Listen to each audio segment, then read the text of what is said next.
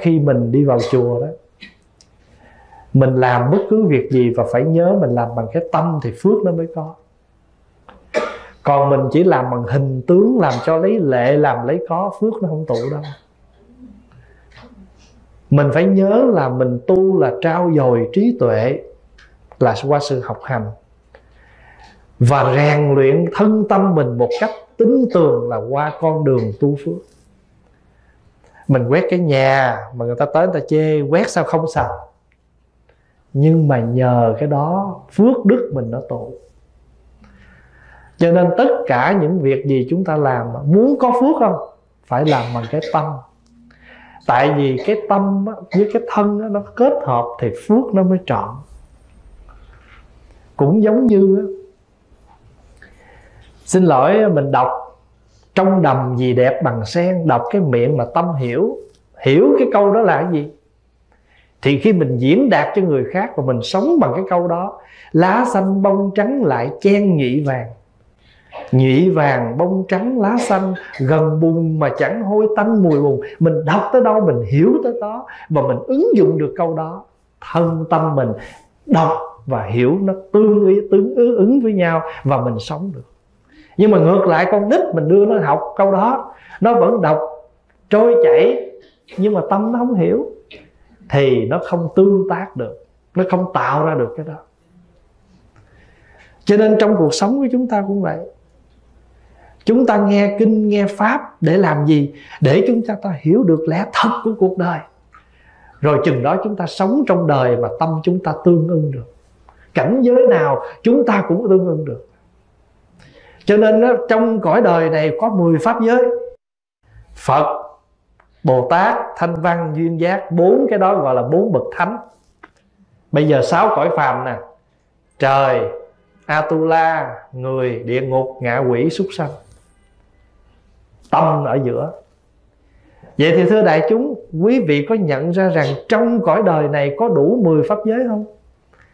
Có những người sống như phật có những người sống như bồ tát, có những người sống như thanh văn, có những người sống như viên giác, nhưng cũng có những người sống sao? Atula, địa ngục, ngạ quỷ súc sanh. Hàng ngày mình tiếp xúc đủ 10 cảnh giới này. Nhưng mà tâm của mình vững chãi thì tới cảnh giới nào mình cũng tùy cơ ứng hóa được hết cho nên Đức Quan Âm tại sao Ngài có thể làm ông tiêu diện lưỡi le dài Đầu bọc ba cái ngọn núi mực phần lửa Mà lúc đó không gọi là Quan Âm mà gọi là diện nhiên vương? Diện là cái mặt Nhiên là lửa. Ông Bồ Tát có cái mặt lửa Mà lúc đó Ngài được gọi là diện nhiên vương. Nhưng mà bên trong cái, cái cốt tủy của Ngài là Bồ Tát Quan Âm rồi thì ngài lại là một cái vị cầm, một cô nữ cầm cái giỏ, cầm cái sen đi trên đầu rồng, đứng ở ngoài biển. Tại vì ngài có thể, cái tâm ngài vững và ngài có thể tương ưng hết. Mỗi cảnh giới chúng sanh, cảnh giới nào ngài cũng tương ưng được. Chúng ta cũng thế. Chúng ta cũng vậy nếu mà mình vững chãi như núi xanh thì mình thảnh thơi giường mây trắng. Mà mây thì nó làm sao? Nó đủ dạng hết. Có khi nó dáng này, có khi nó dáng kia, bởi có nhiều người nó, ô, phật hiện phật hiện. Nhìn vô đám mây, nhìn như phật vậy, kêu phật hiện. Chạy ra, đám mây biến, không còn cảnh đó nữa. Cửa vô sinh mở rồi. Cửa vô sinh là cửa gì? Là cánh cửa không còn của sự khổ đau, sanh tử, đối đãi nữa. Bây giờ mình sống mình thích ứng với tất cả mọi nơi mà mình không còn phân biệt nữa. Này tốt, này xấu, này hay, dở, mà mình có thể thích ứng được mọi việc, vấn đề.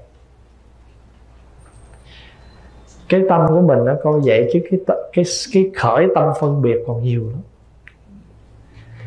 chỉ cần ví dụ, phóng vào ví dụ thôi. Một đứa nhỏ đó tới nó đây con đó là con của ông đó. Cái ô con của ông thị trưởng. Cái mình tiếp khác à. Con của cái người nào nổi tiếng ở trong cái vùng mình sống đó, tiếp, mình tiếp họ cách khác. Mà nếu mà nó là con của một người bình thường mình biết nó là ai, mình tiếp nó cách khác. Dù mình đã cố gắng nhưng mà nó vẫn còn chút chút đó. thậm chí mình nghe mình đệ tử thầy nào đó người ta cũng tiếp mình khác hơn chút. Cuộc sống là nó vậy. Nhưng mà đối với cái người mình tu rồi á thì mình vượt được cái đó đó thì mình không hễ có sinh thì phải có tử. Phải không? Nhưng mà khi mình chạm được cái cửa vô sinh là gì? Không có tử. Cửa vô sinh cửa vô sinh là cửa đã có sinh thì có tử. Hãy gặp cửa vô sinh thì sẽ có cửa không tử mà bất sinh bất tử thì sao? Sống bình an, không khổ lụy lên xuống. Cái chữ sinh tử ở chỗ này muốn nói là cái tâm lên xuống trồi hụp, khổ đau, vui buồn của mình. Nhà phật hay dùng chữ sanh tử để nói cái đó.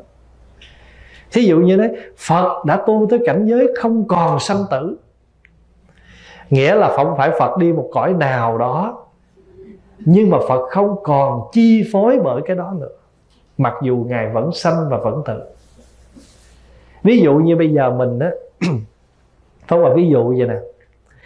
Đại chúng đã từng ăn phở đủ hương vị, nghĩa là phở có lá quế, có à, tương ăn phở, có ớt, tương ớt. Đã từng ăn một tô phở gọi là đầy đủ gia vị. Hôm nào mình đi đến một cái thành phố nào đó mà ở đó cái hẻo lánh lắm gia vị mua rất là khó, nhưng mà người ta cố gắng, người ta nấu nồi phở trình ăn. Nhưng mà không có quế, chỉ có giá thôi. Không có tương ăn phở, chỉ ăn bình thường. Ăn được không? Tại sao? Vì mình đã từng ăn tô phở đủ vị hết rồi. Bây giờ ăn một tô phở thiếu vị, mình vẫn bình thường. Đó. Sống được cái đó là cửa vô sanh mở rồi. Vẫn ăn như người ta ăn. Mà lúc này không còn ngồi càm ràm nữa. Sao không nói? Tôi bưng tương qua. Trời, tôi kali tôi thiếu gì? Cái vấn đề là bây giờ mình có ăn được tô phở này hay không? Còn cái vấn đề mình bưng qua để đủ vị là chuyện bình thường. Còn cái hay của mình là thiếu mà mình vẫn bình an. Sống được như vậy là cửa vô sinh mở rồi. Thì chừng đó cái tâm mình sao? Trạm nhiên và bất động. Mà trạm nhiên bất động là thể tánh của như như lai. Bởi vì chữ lai là mọi việc nó đến, còn chữ như là bất động vững chãi. Hai chữ như lai nghĩa là vậy đó. Chữ như là cuộc đời này nó cứ đến. À xin lỗi, chữ lai là cuộc đời này cứ đến dù đến, dù đi, tôi cũng xin tạ ơn người, tạ ơn đời. Cái người đến, họ cũng cho mình được một cái gì đó. Cái người đi, họ cũng cho mình được cái gì đó. Ví dụ như người ta đến, mình mở nhà hàng, mình đến, người ta đến, người ta ngồi vô ta ăn mừng không? Mừng. Mà ta ăn xong mình đi, mình cũng mừng nữa, ta có chỗ người khác. Cảm ơn đó cho nên cuộc đời này có nhiều người đến làm cho mình hạnh phúc được 5 năm. Cũng cảm ơn. Sau 5 năm làm mình khổ tơi bời. Mà bữa đó nó, nó quyết định nó đi. Chờ tôi lại. Không có gì khổ hết. Đủ duyên thì đến. Đủ duyên thì anh đi. Sống mà làm khổ nhau không nên. Vì cuộc đời này vốn đã khổ rồi cho nên mình mới tìm cách mình đến với nhau để cho mình có được một niềm vui. Nhưng mà nếu mình hết khả năng làm cho nhau vui thì cứ nhẹ nhàng tùy duyên trạm nhiên và bất động. Thì pháp hòa nói đến trong cuộc đời này cũng vậy. Cho nên ví dụ như á, cái ăn là cái mình khổ nhất cái mặt thật sự mình đã từng ăn đủ vị mà chứ có bao giờ mình, mà bữa nào mình thiếu một chút, mình chịu không nổi làm sao? Mình đã từng ăn đủ vị thì hôm nay nó thiếu một chút, có sao đâu. Cứ bình thường thôi. Có nhiều lúc mình đi một cái chỗ nào đó, mình nghĩ là nó ấm cho nên mình mang không đủ áo lạnh. Thì bây giờ cái mà mình làm là gì? Quấn cái gì mình có lên. Ấm được nhiều ấm, còn cỡ nó thôi không có đủ thôi khỏi mặt, cái này mới chết dắt á. Và bảo đảm là chết chắc. Cho nên trong kinh á phật kể câu chuyện có cái anh đang luôn khát nước lắm. Thì anh đến với người ta thì người ta mới nói ô khát nước hả? Thôi à, mời anh ly nước. Anh nói không tôi khát dữ lắm ly này không đủ đâu thôi khỏi uống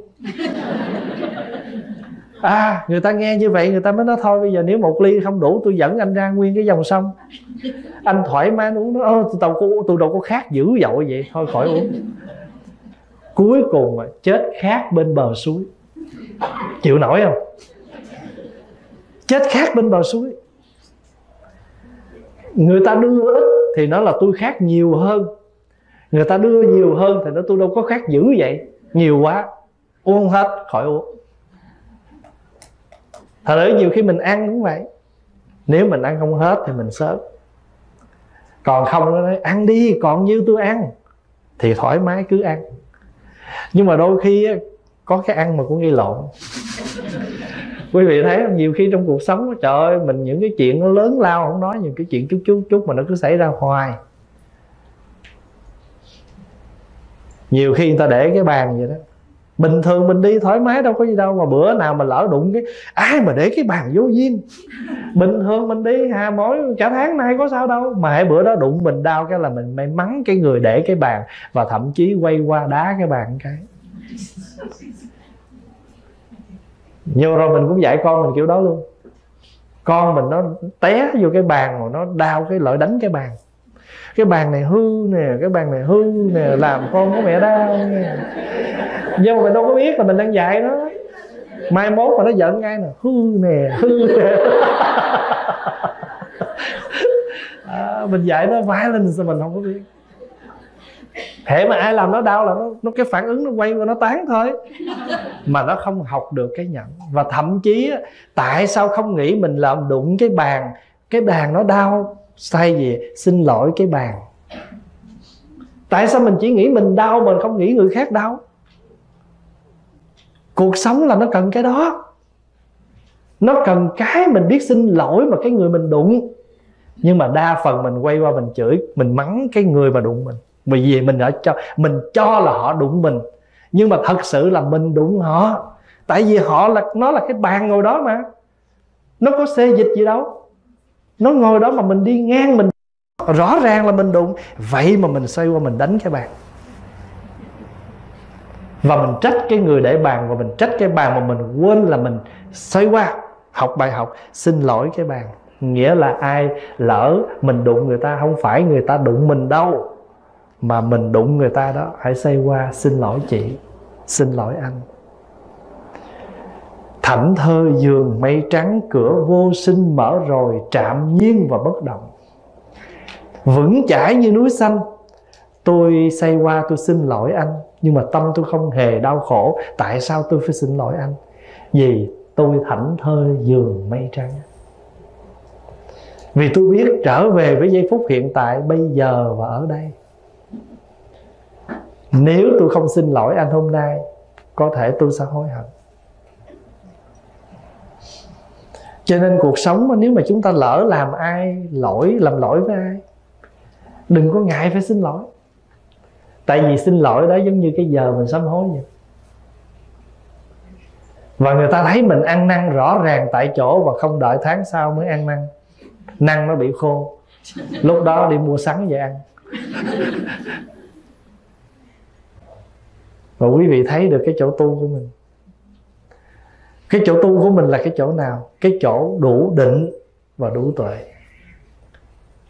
Và phong hòa của nó là mình đủ định để mình làm phật, làm tổ gì? Đủ định và đủ tuệ để mình làm mình. Để mình làm mình. Vì những cái đó mình đã học được từ lúc nhỏ. Nhưng mà do hoàn cảnh, do xung quanh cho nên nó biến mình, nó biến dạng. Chứ thật sự những điều này mình học hết rồi học từ lúc mình còn nhỏ, ba mẹ ở nhà dạy. Nhưng mà tại vì mình giống như con mình mình dạy mình dạy rất kỹ, dạy từ nhỏ. Nhưng mà lớn lên, nó nó lai lai. Nó không có nói giống mình nói, nó không sống giống mình sống. Là tại vì cái hoàn cảnh con người mà nó tiếp xúc, cái dạng vậy nhiều hơn tiếp xúc với mình, cũng không trách được nhưng mà mình mở lòng, mình chấp nhận, mình biết nó đang sống môi trường nào, hoàn cảnh nào. Quý vị biết là ở trong nhà mình có một cái bàn gỗ hay một cái khăn bàn. Mình trải như vậy nè, rồi mình mở cửa sổ, nắng ngày nào nó cũng rọi vô. Một thời gian là tự nhiên cái khăn bàn nó bị sao? Nó bị bạc màu. Đâu có ai làm gì nó đâu. Rõ ràng không thấy ai tới chùi lao gì nó cả vậy mà một thời gian sau nó lại bạc màu. Mình cũng như thế. Nếu mà mỗi cái hoàn cảnh mọi cái cái cái cái cái đó, cái nắng mà của cuộc đời mà cái khó khăn mà nó cứ soi vậy, mình bạc màu lúc nào mình không thấy. Cho nên tại sao mỗi ngày mình phải tụng kinh? Tại sao phải ngồi thiền mỗi ngày? Tại sao phải trì chú niệm phật mỗi ngày? Tại vì mình làm cho nó đậm cái nó lên. Mình không để cho cái kia nó bạc kinh mà nhớ tôi nhớ hồi nhỏ tôi thuộc đó mà lâu quá tôi không tụng tôi quên.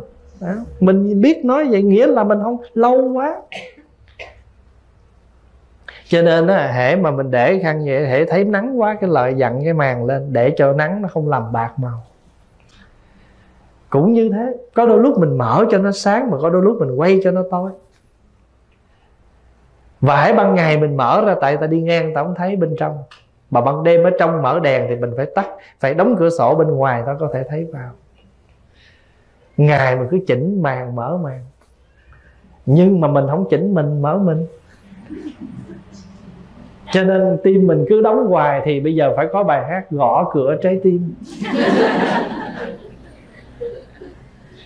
Và thưa đại chúng, mà khi mà mình thấy, ô, mọi sự việc trong cuộc đời đó, nó giống như cái sự tu hành của mình mỗi ngày vậy thôi à nấu cơm cũng tu được, lặt rau mình cũng tu được, và làm gì mình cũng thấy thiệt cái tu nó tràn ngập, nó trải dài trong sự sống. Thí dụ mình trồng cọng rau lên, mặt trời xanh rờn, một rổ rau tươi, vạn pháp nương nhau làm nên cuộc sống. Nè, mình tưới cọng rau dền, bữa nay rau dền nó lên, bây giờ mình ngắt rau dền vô, mình ăn mấy tháng trước mình nuôi rau dền, hôm nay nuôi rau dền, nuôi lại mình.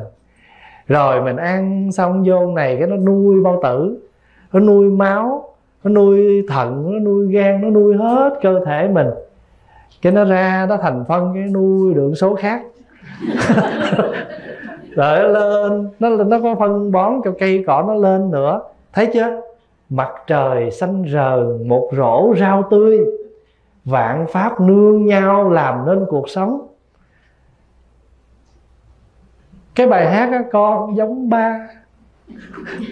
Cái gì đó. Vì con thương ba. À, con giống mẹ gì đó. À, cả nhà ta cùng yêu thương nhau. Sở dĩ mẹ thương con tại vì con giống ba. Nếu con giống hàng xóm thì không phải vậy đâu. chân lý nằm ngay đó đó. Chân lý nằm ngay đó đó. À, có nhiều khi cái bình bực của mình mày giống con cha mày. Hậu giống nó sao bà thương? Nhưng mà giận quá tức nói vậy đó. Nhưng nói vậy thôi nhưng mà cuối cùng khoái lắm. Cho nên mình nhìn cái cọng rau đó mình tu được. Rồi cái mình đi tưới mỗi lần mình ra mình tưới cỏ tưới rau đó cái mình tu tiếp nước giữ hoa tươi, hoa nở cho người. Mình tưới vào cái hoa để cho hoa nó nở, phải không? Hoa nó nở để làm gì? Để mình thưởng thức. Cho nên nước giữ hoa tươi, hoa nở cho người. Hoa nở, tôi nở. Hoa cười tôi cười. Nếu mà tôi tưới quá trời, quá đất mà hoa không nở, cái này tôi mới bực à. Còn tôi tưới hoa mà hoa nở thì mỗi lần mình ra vườn mình thấy hoa nó nở mình vui không? Hoa nở, tôi nở. Hoa cười, tôi cười. Tu rồi đó. Cho nên mình nhìn hoa, không có ai mà nhìn hoa mà đau khổ hết á. Nhìn hoa là mỉm cười nhưng mà mình phải thấy rằng trong cuộc sống này, những người, bao nhiêu người xung quanh mình đó, người ta đóng góp cho mình rất là nhiều, nhưng mình hình như mình thờ ơ mình không thấy. Đến một ngày kia mình bất chợt, mình thấy được thì cái hoa nó héo mất rồi. Cho nên nhà thơ quách tấn, ông đi ngang cái cái cái hoa, cái hàng cái hàng hoa thực dược. Bao nhiêu ngày, bao nhiêu năm mà có bao giờ ông nhận được cái đẹp đó đâu? Vậy mà tự nhiên một ngày nọ ông nhận ra cái đẹp của nó, vọng liếc, ông viết lên một bài thơ và cái lời thơ có ý tứ như một thiền sư nhìn hoa. Đứng yên ngoài hàng dậu, em mỉm nụ nhiệm màu. Lặng nhìn em kinh ngạc, vừa thoáng nghe em hát, lời ca em thiên thâu, ta sụp lại cúi đầu. Bình thường hoa thượng dược vẫn nở, vẫn đẹp như vậy mà ông không nghe được tiếng hát của hoa, không thấy được hoa mỉm cười, không thấy gì cái đẹp của hoa. Tự nhiên ngày hôm nay thấy hết trơn. Đứng yên ngoài hàng dậu, em mỉm nụ nhiệm màu. Lặng nhìn em kinh ngạc. Vừa thoáng nghe em hát, lời ca em thiên thâu cái tiếng hát này không thể diễn tả được. Chỉ có tâm người an lạc, thanh tịnh mới nhận ra tiếng đó ta sụp lại cúi đầu. Hồi sáng này ngồi thiền, nhìn lên chánh điện. Thấy có những cái hoa đẹp quá, lạ quá. Quý vị nhìn. Nhưng mà nếu có quà không thấy thì quý vị đâu nhìn, thấy thôi. Cuộc đời mà thấy nó khác hơn nhìn à. thấy thôi. Nhưng mà mình nhìn là phải vậy nè. Đó, phải dừng lại mới nhìn được cho nên á, cuộc sống của chúng ta hàng ngày chúng ta thấy hết nhưng mà không có nhìn.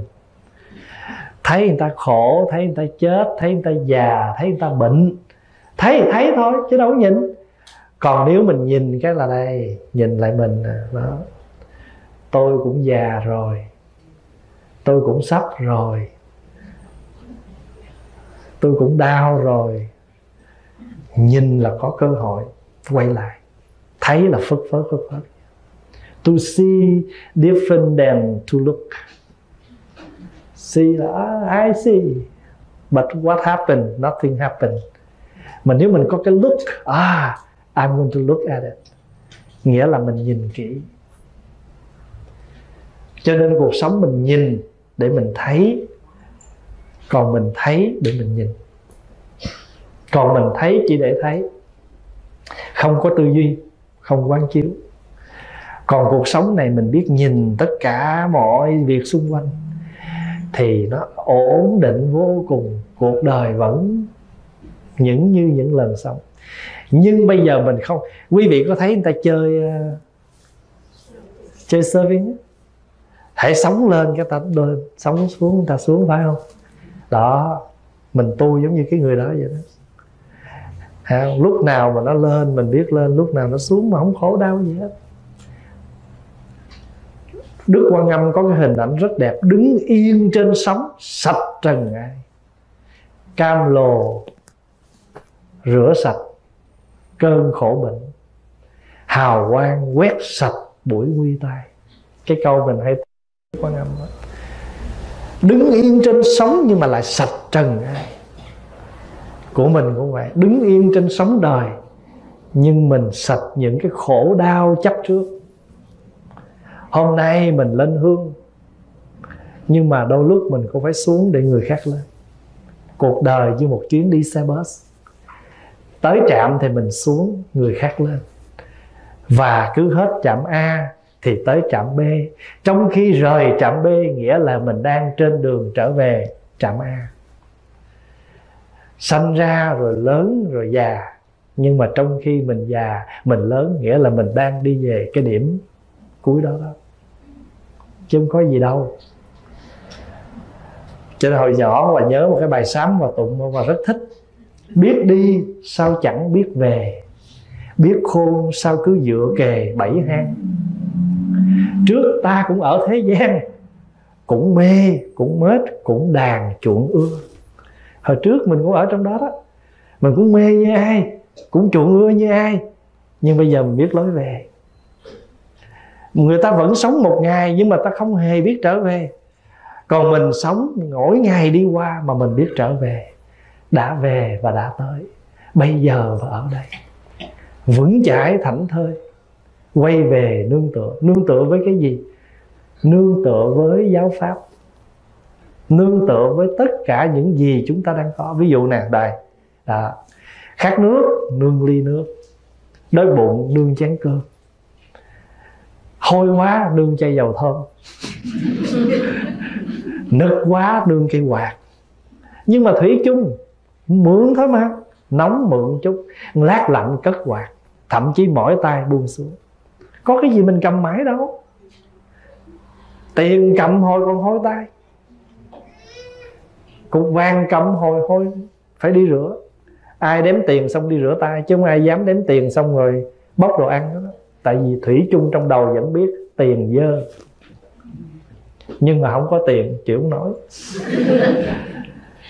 vững chãi như núi xanh thảnh thơi giường mây trắng. Không có tiền không được. Mặc dù biết cầm tiền giơ tay. Nhưng mà không có không được cầm. Nhưng mà cầm xong rửa tay. Đó nhiêu đó thôi. Chỉ cần thấy như vậy thôi xài chiếc xe. Đang tốt, biết, lái cẩn thận. Dù cẩn thận cỡ nào, nhưng một thời gian sau, nó phải cộ kêu là xe cộ mình phải cộ nó vô cái chỗ sửa. Mình đi chiếc tàu, có bữa nó ạch ạch, phải bè, kêu tàu bè. Mình xài cái máy, có ngày nó móc mở nó ra, móc từng bộ phận ra sửa, kêu máy móc.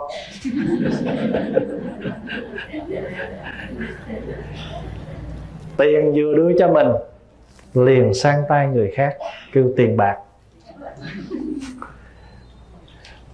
Cho nên mình hiểu được như vậy, vững chãi như núi xanh, thảnh thơi giường mây trắng. Biết rất rõ nhưng mà không từ cũng không khổ mà mình, cái gì làm cho mình có được cái đó?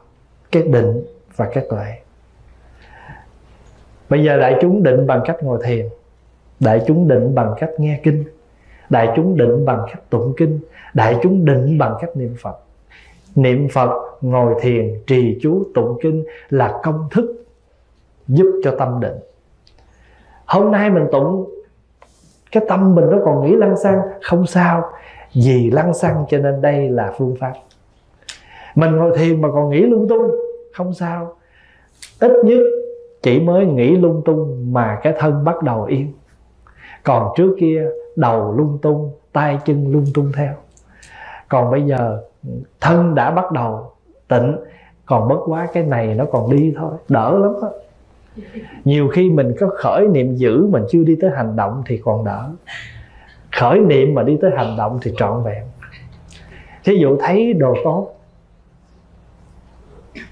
ngó liền.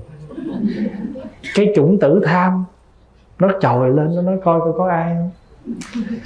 Bởi vì cái cái chủng tử tham mình có. Rồi cái đồ tốt của người ta là cái duyên để mình khởi tâm. Rồi bắt đầu nó nghĩ ra phương thức thậm chí giả bộ đi tới, hất cái tay xuống cho nó rớt rồi dậm chân lên nó đứng. Đó là cách thức tham. Khi người ta đi ra rồi bắt đầu mới bóc bỏ túi. Chủng tử tham có, vật chất là cái duyên bên ngoài nó có. Hai cái đó nó phối hợp cho nên làm cho mình nghĩ ra cái cách thức nào mình tham. Và khi duyên có, bản chất tham có nghĩ ra cách thức tham rồi bắt đầu thành tham là lấy. Nhưng cái định nó cúi xuống đứng hồi. Đứng hồi mà sao bà này bà đi ở đây hoài bà không chịu đi? Mỏi quá. Và bây giờ mình lại muốn đi. Thôi lượm lên để lại đây đi. Chắc không lấy ra khỏi đây đâu. Mà như vậy là tự nhiên mình nói, mình cũng nghe pháp, cũng tu tập được nhiều rồi mà sao mình còn dày? Để lên lại cái định cái tuệ nó nói với mình cái mình giữ giới trở lại. Không thấy. Hồi nãy mình lấy là mình phạm giới rồi. Mà nếu mình mà lấy cái đó là mình mất tham à, xin lỗi mình mất cái định mất cái tuệ. Nhờ định tuệ cho nên làm cho cái dự sự giữ giới mình nó sanh sáng nay Pháp Hòa thưa với đại chúng là cái bài hát đó, đó. Thì bây giờ quý vị thấy là một bài thơ được phổ ra làm nhạc nhưng mà khi mà một bài thơ chắc có lẽ mình không thuộc, nhưng nếu nó biến ra thành bài nhạc thì mình sẽ thuộc hơn. Đã về, đã tới, bây giờ ở đây. Vững chãi thảnh thơi, quay về nương tựa. Nay tôi đã về, nay tôi đã tới. An trú bây giờ, an trú ở đây. Vững chãi như núi xanh, thảnh thơi giường mây trắng. Hồi nãy Pháp Hòa có thưa với đại chúng vậy đó. Vững chãi nghĩa là mình tâm mình rất là vững và cái oai nghi tế hạnh mình nó có, nhưng mà không có bị gò bó. Quý vị đi kinh hành đó, cứ đi thoải mái thôi. Nam mô a di đà phật. Thì nếu mà mình muốn định cái tâm mình đó, nam mô a là bước chân trái, di đà phật là bước chân phải. Để giúp hai cái bước chân nó giúp cho mình định bằng cách là a trái mà phật phải nhưng mà mình đi, mình bước cái bước nó rất là thông dong. Chứ không cần phải đi như robot. Không? Nam mô a di đà phật. Cái người ta thấy mình à, mình đi thiền hành, nhưng mà mình rất là bị vô cái khuôn. Phải không? Cũng giống như mình chắp tay vậy đó, cứ chấp bình thường. Trời ơi, nhiều khi mình chắp tay như là thiếu lâm tự vậy. Phải không? Cứ, cứ bình thường chắp tay vậy thôi. Không rồi mình lại phật cứ bình thường đây. Đưa cái đỉnh cái ngón này nè lên đây nè. Cái này là mở. Đưa cái này lên để khai. Cho nên khi mình chấp tay cái tay của mình chấp vậy là một cái ấn nè. Cái ấn này gọi là gì? Ấn này gọi là phổ cúng dường. Ấn phổ cúng dường chấp đây này. Nhưng mà khi mình đánh lễ là phải đưa lên, mình đưa lên đây cái thấy không? Này. cái chỗ này là cái chỗ khai. Và cái chỗ này mà khai rồi nó thông, hạ xuống. Mà mình làm rất là nhẹ nhàng. Chứ không cần phải ờ,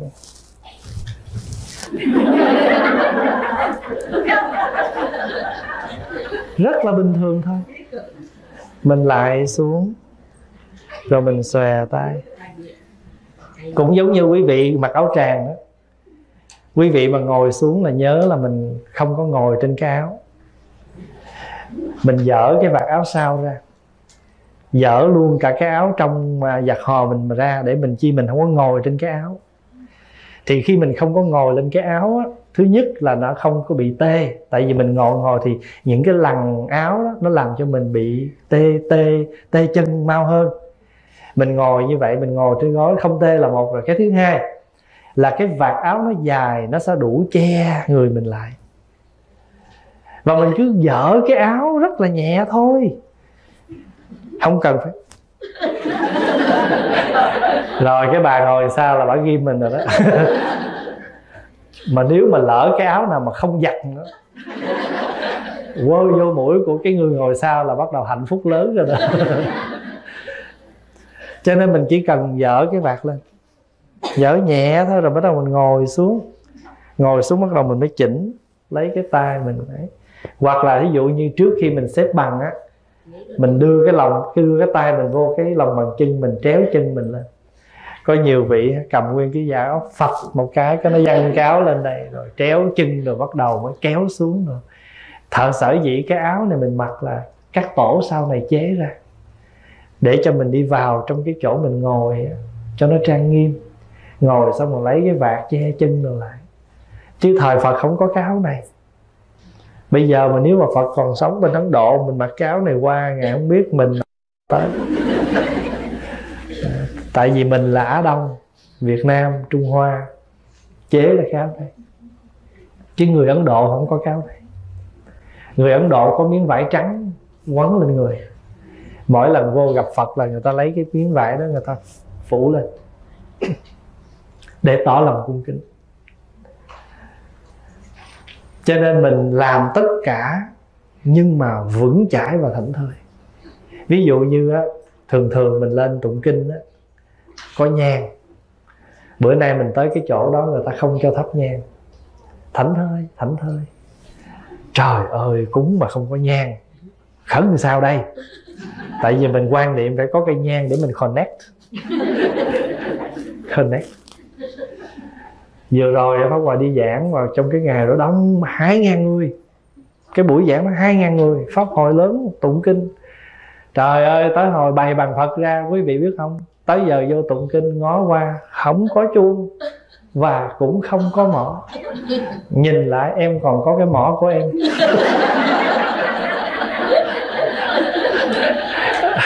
Cái cái phật tử mà ta phụ trách set up bằng thờ á lợi nói nhỏ, còn còn sám hối thầy, còn quên mang chuông mỏ rồi sao thầy?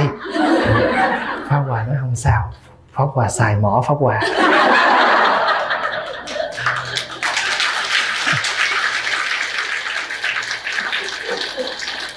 Mà đại chúng biết không, cái ngày đó tụng kinh hạnh phúc, tụng rất đều và rất hay. Không có chuông mỏ luôn. Tụng cái đó gọi là tụng vững chãi và thảnh thơi.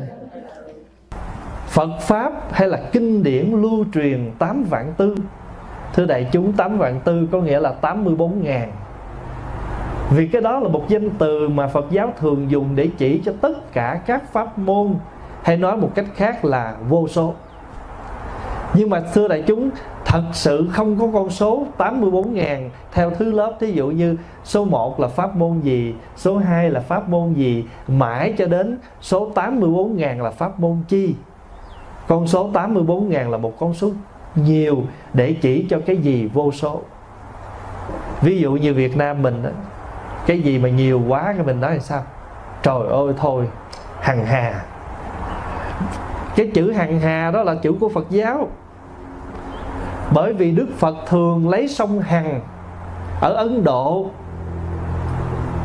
À ở Ấn Độ có cái sông tên là sông Hằng. Và cát ở dưới sông Hằng rất là nhiều. Cho nên Đức Phật đã dùng danh từ đó để chỉ cho cái gì số nhiều thì Đức Phật thường dùng hằng hà sa số. Và ngày nay cái chữ hằng hà đó nó đã đi vào trong văn hóa chữ nghĩa Việt Nam. Và người Việt Nam đã dùng cái chữ hằng hà như một cái cái câu nói hàng ngày trong cuộc sống cái gì mà số nhiều. Nhưng mà thật bây giờ truy ra thì, tìm ra thì chữ đó là chữ của Phật giáo. Thì cũng như thế, Phật Pháp nó giống như là vị thuốc, Có thể trị tất cả các loại bệnh Mà không nhất thiết là phải kẹt vào một cái công thức nào, Tùy theo bệnh mà cho thuốc. Ví dụ như mình là người lớn, nhức đầu, nặng quá, Uống hai viên Tylenol. Nhưng mà một em nhỏ dưới 12 tuổi Mình có thể cho nó nửa viên thôi. Là vì có thể nó chưa đủ cái sức để nó chịu được một viên Tylenol 500mg hoặc là mình chia làm hai cho nó uống nửa viên, nửa tiếng sau tiếng sau cho nó nửa viên nữa. Miễn làm sao mình dùng đúng thuốc tùy theo cái tuổi. Như vậy cũng là một cái việc cho thuốc, nhưng mà chúng ta rất rành và rất rõ tuổi tác như thế nào, sức khỏe như thế nào để chúng ta dùng thuốc. Ví dụ như chúng ta uống thuốc bắc, lẫn thuốc tây, thì thường thường là thuốc tây và thuốc bắc phải uống cách nhau 4 tiếng để nó không có cái sự trộn rộn mà tới hồi chết không biết thuốc nào mà hết cũng không biết thuốc nào. Cho nên uống thuốc tây xong rồi 4 tiếng sau có thể uống thuốc ta, uống thuốc bắc. Và thậm chí những người mà người ta trị bệnh mình hoàn toàn bằng thuốc bắc thì trước khi người ta trị mình bệnh á, thí dụ mình nói mình bệnh gan, thì người ta không thể cho thuốc liền trị bệnh gan. Mà trước hết ông thầy thuốc bắc phải cho mình 10 thang thuốc sổ độc phải sổ độc trước. Sổ độc ra rồi thì bây giờ cái gan nó còn nguyên khối gan đó đó. Đưa thuốc vô trị thẳng thì mới có cơ may trị được bệnh. Nếu như bệnh gan mà không sổ độc trước mà uống thẳng thuốc thì chẳng tác dụng gì. Bởi vì cái độc nó còn bao phủ cái lá gan thì làm sao thuốc nó vô thẳng lá gan được? Phải không? Cũng như vậy. Ví dụ như quý vị kho đồ kho đó kho mít nè, kho khổ qua mà muốn kho cho ngon á, là cái trái khổ qua tươi đó sắc ra khúc khúc rồi đem đi chiên. Đừng có lấy hột ra để nguyên hột. Bởi vì mình lấy hột ra là mình chiên, mình kho khổ qua nó bị nát, bị nhừ. Phải để nguyên cái hột để nó nó giữ cái cái cái khoanh khổ qua cho trọn. Chiên deep fry. Xong rồi để cho nó ráo dầu mà trước khi chiên nó xả nước sôi cái để cho nó bớt dầu tại sao phải chiên? Thứ nhất, làm cho khổ qua không bị bấy. Thứ hai, ăn cho nó thơm, nó béo.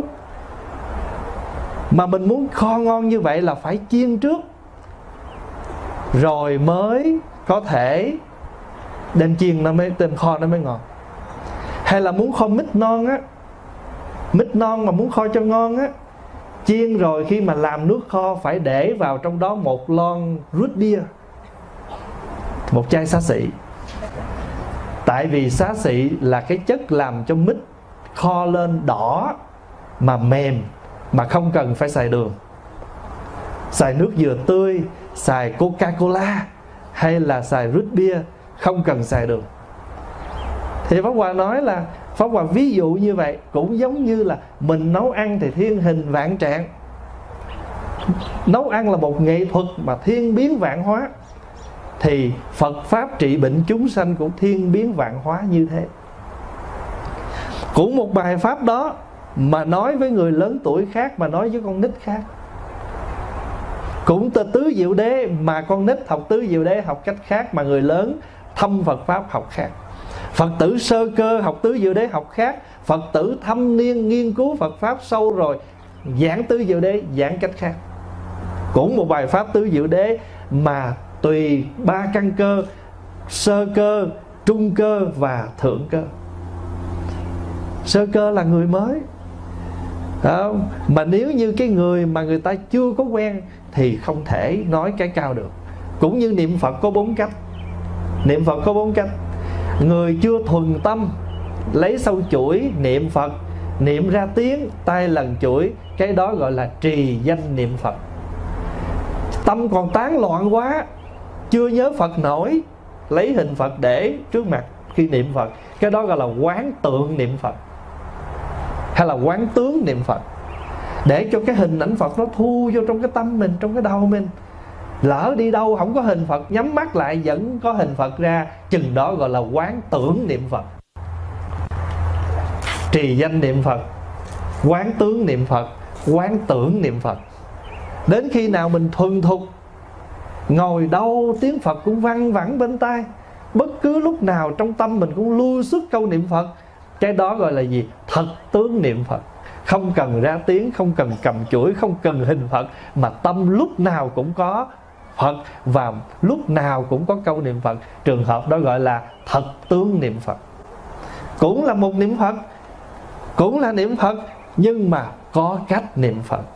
Anh ngồi tê chân quá phải không? Thiền tọa niệm phật không được, phải không? Đứng dậy đi đi. Vừa đi vừa niệm là kinh hành niệm phật. Trời ơi, tôi bệnh quá, tôi ngộ không nổi. Tôi làm gì cũng được. Nằm niệm phật. Nằm mà niệm phật theo hơi thở.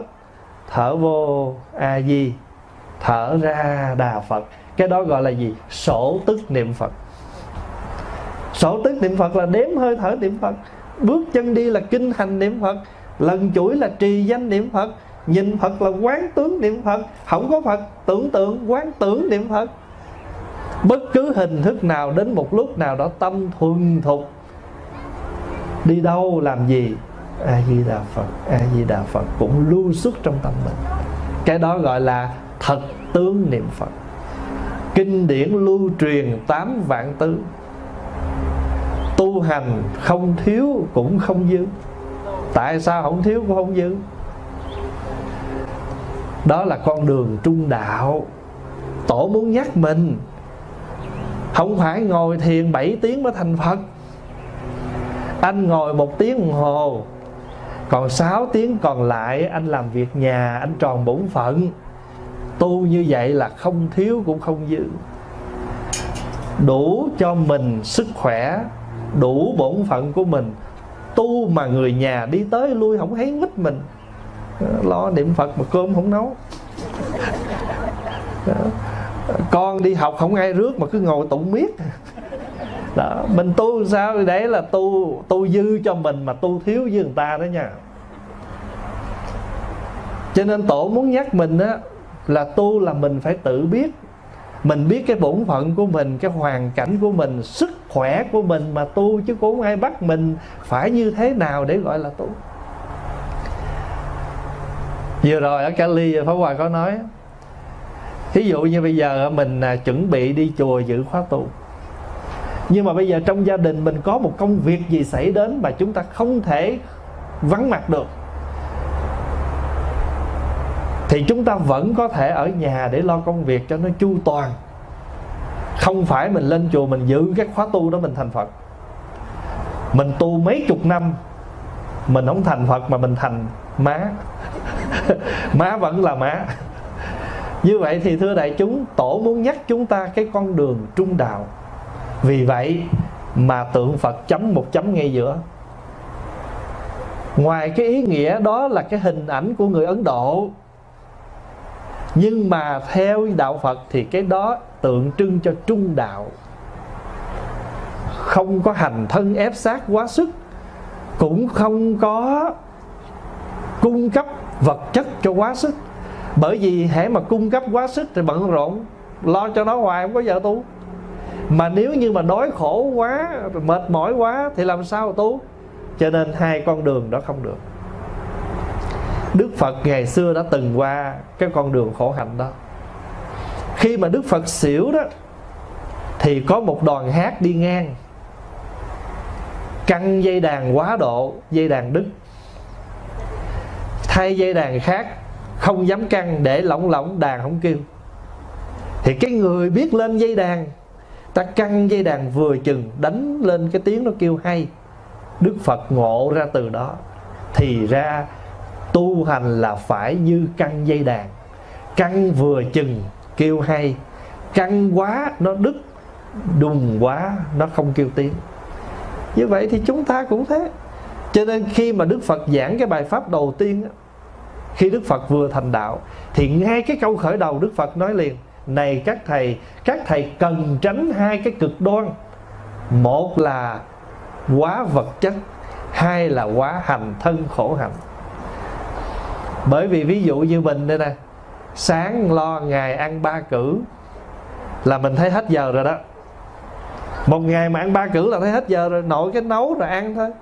Mà nếu mà ăn gấp cái ta nói ăn vậy bởi cực cho bắt đầu mình ngồi mình tập ăn chậm. Ăn chậm để chứng tỏ là mình sao thảnh thơi. Ăn xong trễ giờ. Đó thành thứ ra rồi. Ăn sáng, ăn trưa, ăn chiều.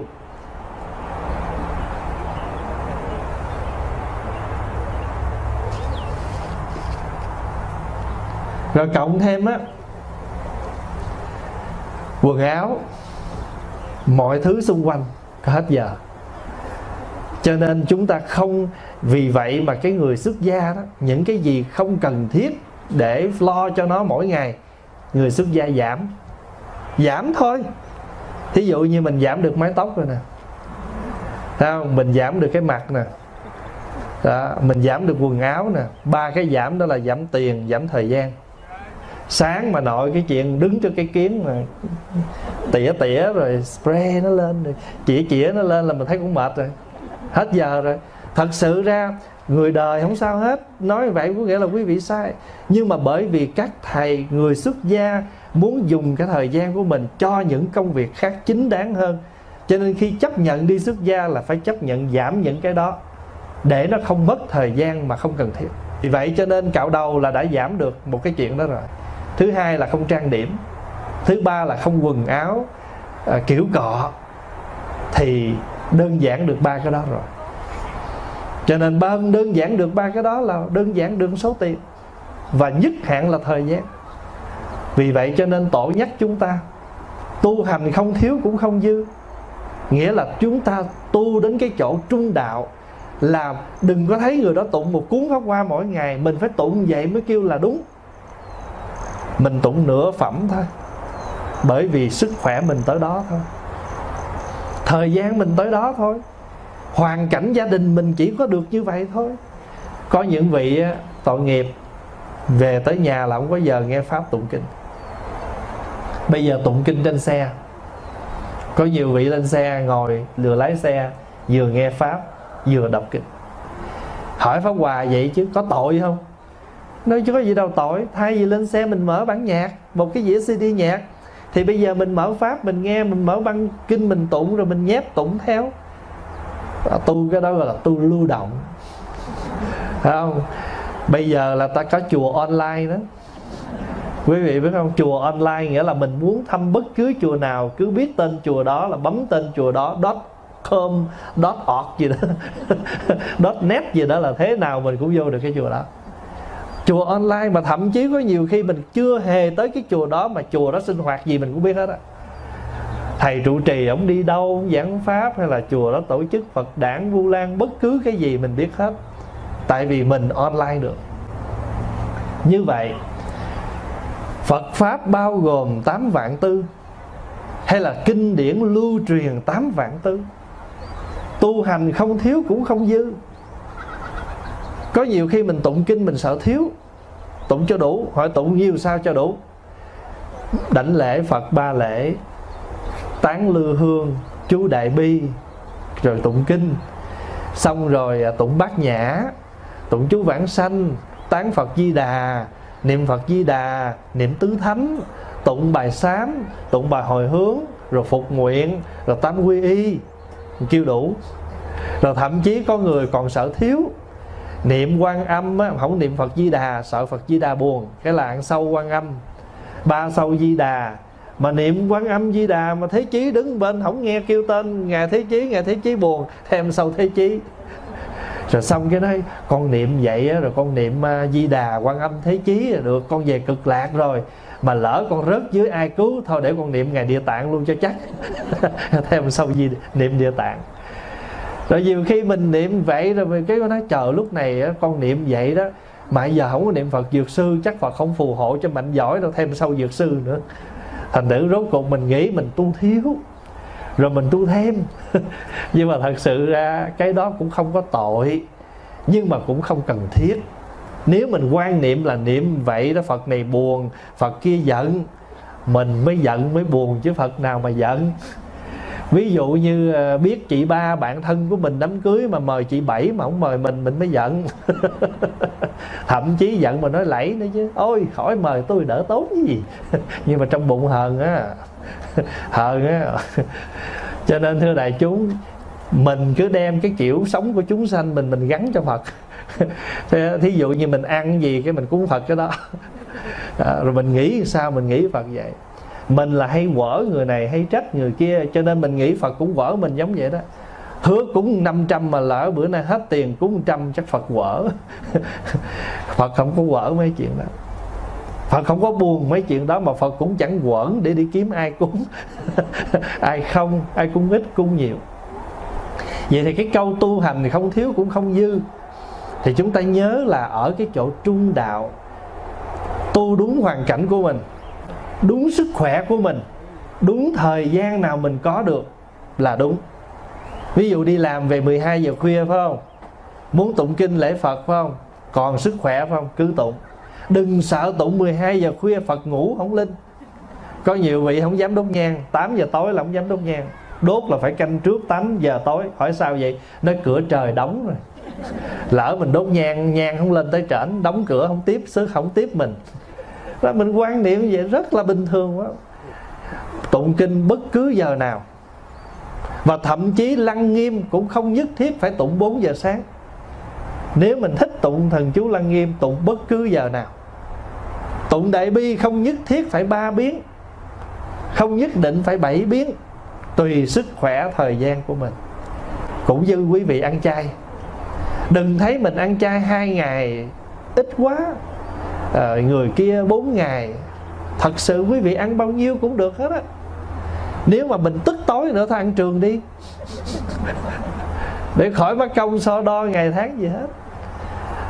Ăn chay là một hình thức rất căn bản để trưởng dưỡng lòng từ bi và giữ gìn sức khỏe. Nó không phải là cái chuyện ghê gớm để mình thành phật mình tu hành gì cả. Nó mới tịnh được cái thân à nó mới sạch được cái thân tháng hai ngày, ba ngày thôi. Và nó tịnh được cái miệng ăn, cái cách ăn của mình thôi. Nhưng mà nhiều khi mình ăn chay là một hình thức nhắc nhở mình ngày đó ăn chay thì tự nhiên không dám nói bậy, không dám chửi bậy, không dám hung dữ người ta cười. Nói trời ơi, ăn chay gì mà dữ quá. Cái ngày đó mình ăn chay tháng hai ngày mình hiền được hai ngày. Mà ăn chay 4 ngày mình hiền được 4 ngày. Cho nên ăn chay cũng là một hình thức căn bản rất là sơ cơ trên bước đường tu tập. Ăn chay không có gì cao hết đó đừng đừng có thấy cái đó là ghê gớm. Ăn chay được chay trường cái chê người ăn ăn bò. Rồi mình ăn à, 4 ngày 6 ngày tùy mình. Cho quý vị đã hiểu được như vậy tùy sức khỏe của mình. Như vừa rồi có một đạo hữu ăn chay trường bây giờ sức khỏe xuống dốc. Bác sĩ nói nên ăn thêm chút uh, thịt để mà có sức tùy do cái bệnh đó. Ông mới hỏi pháp hòa, chứ bây giờ hồi đó con ăn trường, bây giờ con ăn mặn trở lại, con ăn thay vì con ăn tháng 4 ngày chay, thì bây giờ con đổi ngược lại là một tháng 4 ngày mặn. 26 ngày chay, quá ngon rồi. Mình phải yes liền chứ, để họ đổi ngược lại sao?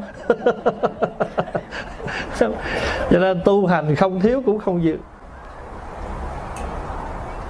không phải một ngày ngồi mấy tiếng đồng hồ thiền mới kêu là thành đạo.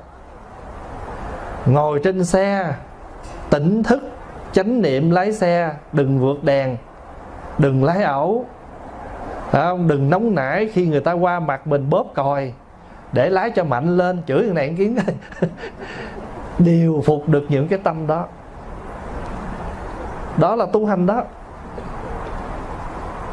Không nhất thiết tụng kinh phải chuông mỏ, có cũng tốt cho nó cốc cốc can can chơi, cho nó vui. Và cho nó điều hòa cái thời kinh. Lỡ mình ở trong một gia đình, con cái nó ngủ nghỉ cái giờ đó, không cần chuông mỏ xài một mỏ được rồi.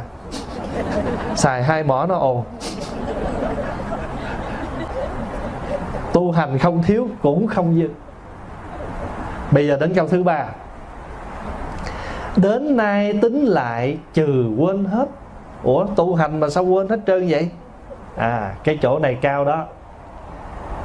Cái chỗ này kinh tứ thập nhị chương gọi là tu vô tu tu chứng vô chứng chứng. Tu mà không thấy mình tu mới gọi là tu.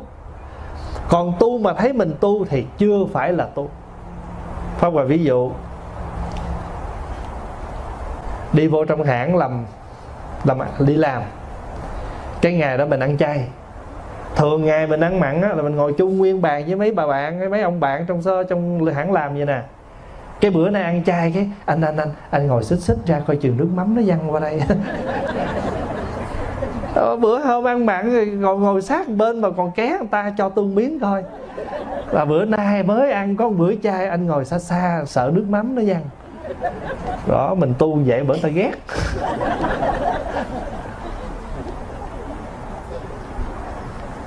mình ăn chay mà không cần quảng cáo. Ví dụ bữa đó mình ăn chay mà bạn mời mình đi ăn, phải không? Nếu mình thấy những vị bạn đó, người ta không có thích nghe mình nói mấy chuyện đó. Chị kêu dùm tôi dĩa mì xào rau, tại bữa nay người không khỏe. Muốn ăn cho nó thanh đạm chút, hay là kêu dĩa xà lách, đâu cần tuyên bố ăn chay. Và thậm chí thí dụ như bây giờ người ta đem cái dĩa xà lách đó ra, nó có hành mình không ăn được, phải không? Gấp ra. Trời trời trời, bữa nay tôi ăn chay. Bữa hôm ăn nguyên củ, ai nói? Còn mấy cọng hành ở trong cái chén đó mà làm dữ quá. Thật sự ăn chay không hề cử hành tỏi gì cả. Không có cái chuyện cử hành, cử tỏi gì hết á. Nhưng mà bởi vì á, các vị tổ, các ngài muốn nói chúng ta là những cái chất đó, nó rất là nồng mình ăn nhiều nó hôi miệng, hôi mồ hôi, mà mồ hôi bình thường nó cũng hôi rồi. Bởi nó mới kêu mồ hôi chứ đâu kêu mồ thơm. Bình thường mồ nào nó cũng thơm nó cũng hôi hết á. Hễ có mồ là có hôi à. Chứ không có mồ nào mồ thơm hết á. Nhưng mà mình giảm được nó thì mùi trung bình. Còn mùi ăn, mình ăn nó nhiều quá thì nó nặng cái hơi thở, nó nặng cái cái cái mồ hôi của mình cho nên mình giảm. Đồng thời ở trong hành tỏi cái chất kích thích nó rất là mạnh. Người tu chúng ta giảm nó. Cái chất kích thích trong tỏi trong hành mạnh. Nhưng tỏi hành nó cũng có vị thuốc. Như là thời gian gần đây đó, người ta uống rượu tỏi uống tỏi viên ăn tỏi đen để người ta trị bệnh. Như vậy nếu vì trị bệnh chúng ta dùng cũng chẳng sao. Ví dụ như ai mà ho đó, có thể ăn canh hẹ nấu với đậu hũ, trị bệnh, ho. Có một ví dụ vậy đó. Hay là quý vị bị sốt, có thể lấy củ hành trắng bầm ra, cho bầm nhuyễn ra, cho một tí nước sôi, nước ấm ấm thôi nha. Rồi để vô trong vải, đắp vô cái bắp chân của mình đó. Thì cái hành đó, nó công năng, nó rút sốt cho một đứa nhỏ đó là cái phương thuốc trị bệnh căn bản của người người Âu Châu. Thì Pháp Hòa nói như vậy, thì cái chuyện mà hôm đó mình mình không ăn hành tỏi, đó là chuyện mình chứ không phải chuyện mà ghê gớm. Trời ơi, chết rồi, bữa nay tu tụng kinh hết linh rồi. Tại vì mình quan niệm ăn tỏi tụng chú không linh. Ăn tỏi tụng chú không linh, tại sao nói vậy? Bởi vì cái gì người xưa nói, người ta cũng có cái tại vì mình đa phần là sợ tội, sợ không linh, không thiên cho nên các ngài phải nói vậy để điều phục chúng ta thôi, chứ không có ý gì hết á. Cho nên ví dụ bữa đó người ta đem dĩa xà lách ra ta xào dĩa mì, người ta quên ta để hành chứ gì. Không ăn cứ nhẹ nhàng gấp ra mà không cần phải nói gì hết. Nó đã đổi đổi được không? Tôi ăn chay, có hành ăn cũng được. Trời ơi, bình thường hành cả củ thịt này tôm kia bình thường cho nên mình tu làm sao mà thật là nhẹ nhàng. Thật là nhẹ nhàng. Đừng để cho người khác phiền ở cái chỗ tu của mình. Bởi vì tu là chỉnh sửa, là chuyển hóa. Mà mình chưa chuyển hóa được những cái cố chấp, những cái hình thức. Nói như vậy không nghĩa là chúng ta bác, không phải nhưng mà chúng ta rơi vào cái hoàn cảnh nào thì chúng ta hãy tùy duyên, uyển chuyển vào cái hoàn cảnh đó để chúng ta linh động nhẹ nhàng, không làm phiền ai hết. Tu mà không phiền người khác mới gọi là tu. Ví dụ như mình thắp nhang, bây giờ gia đình mình có người bệnh dị ứng khói nhang, hay là mùa đông bích bùng, cửa nẻo mở cửa không thoáng thì chúng ta bớt nhang lại, không hề có tội. Thậm chí quý vị có thể bẻ cây nhang ra một khúc nhỏ, thắp lên cho nó có cái cái gì? Có cái hương khói nhẹ nhẹ chút xíu để gọi là chút gì đó chúng ta gọi là ấm cúng trong sự cúng dường, đủ rồi. Không nhất thiết phải thắp cả một cây nhang để gọi là cúng. Bởi vì hương nó có nhiều loại cái hương vật chất chỉ là biểu tượng, cái chính là tâm hương. Cho nên mình mới tụng đó, hôm nay đệ tử chúng con thành tâm quỳ trước phật đài, kính dân một nén tâm hương, cúng dường tam bảo. Còn cái hương vật chất này làm bằng mặt cưa, làm bằng bột trầm, làm bằng bột nhang, do khói, do lửa mà có do cây gỗ chúng ta đem ra, chúng ta xây xây nó ra rồi nhồi với keo, đắp nó lên cái gỗ đó để gọi là cây hương. Thì cái cây hương đó chỉ là biểu tượng. Còn cái hương chính thức là hương tâm. Thắp đèn cũng vậy, đèn lòng thắp tâm đe tâm đăng. Còn hình tướng bên ngoài, tùy duyên tùy cảnh không thiếu, không dư, cúng phật về không thiếu mà có thêm cũng chẳng dư. Cho nên cũng chẳng gọi là đủ, cho nên rất là bình thường. Ví dụ quý vị thắp cây nhang tụng kinh ha. Tụng nửa thời kinh cái ngó lên bằng phật cái hết hết hương rồi. Bỏ dùi xuống lỡ thắp cây nhang. Hỏi sao vậy? Hết nhang lỡ phật đi thì sao? Mình cảm niệm, cảm giác là có cây nhang phật còn đó. Rồi không thêm cây nhang nữa. Không phải mình mình mình đừng không cần phải nghĩ như vậy. Mình làm sao mà mọi việc nó rất là, thí dụ trên bàn thờ, đĩa trái cây, bình hoa, gọi là đủ nha, đủ bài bản á lư hương nè, hai chung nước, hai cây đèn, bình hoa, dĩa trái cây, gọi là ngũ phẩm. Nhưng mà nếu trên bàn thờ chật quá, không để được hai chung nước cũng không sao cũng không nhất thiết phải nguyên dĩa trái cây, có nhiều khi tượng phật có một chút à dĩa trái cây bự vậy nè. Để lên thấy phật đâu hết, ngó lên, nam mô đủ thứ trái. Đâu có thấy phật gì đâu niệm. Cho nên mình cũng tùy cái bàn thờ mà để để cái bàn thờ nhỏ mình để bằng trái cây ít, cho nó trang nghiêm. Không cần phải ngũ quả.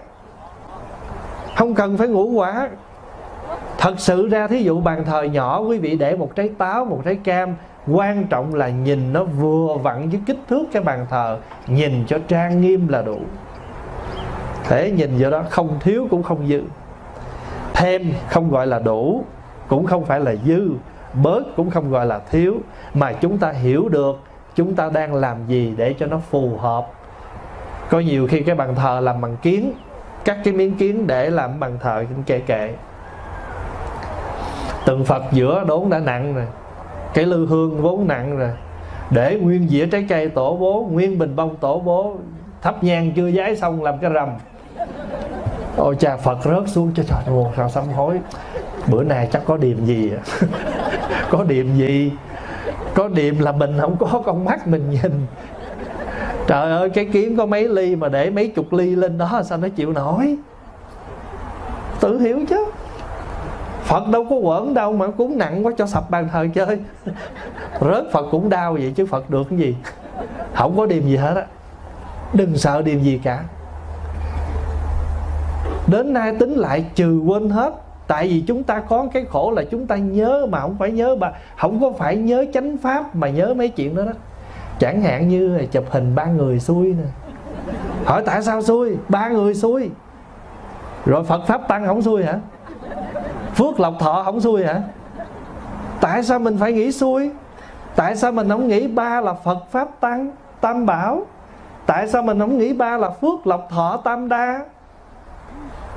Tại sao mình phải nghĩ tam là tam tai? Chi cho nó nó tự mình đặt cái chữ ra khổ à? Rồi cái hỏi, ba không được phải không? Ráp bốn vô không được. Bốn là dách gì xăm say say là sợ xảy xảy xảy xảy là chết không được. tứ là tứ quý. Tứ là tứ quý, tứ vô lượng tâm.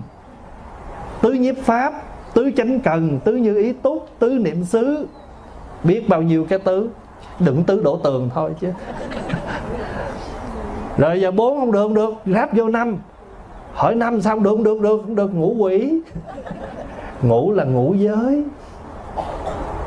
Ngủ căn ngủ lực cờ phật giáo năm màu, xanh vàng đỏ trắng cam. Vậy thì tự do mình đặt hết chứ còn muốn số thiện, số lành không? Đầy đủ từ số 1 cho đến số cả ngàn. Đến na tính lại trừ quên hết, quên mà những cái hình thức chúng ta vướng kẹt. Để chúng ta đi được cái tâm rỗng rang, mà chỉ có tâm rỗng rang, chúng ta mới nhẹ nhàng trên mọi lộ trình giải thoát quý vị cứ để ý cái này là đơn giản thôi. Mình đi vacation mà mình mang đủ thứ hết là mình nặng chứ có gì đâu. Mà mình đơn giản hóa những cái gì dụng cụ không cần thiết là mình nhẹ nhàng chứ gì đâu. Đơn giản vậy thôi.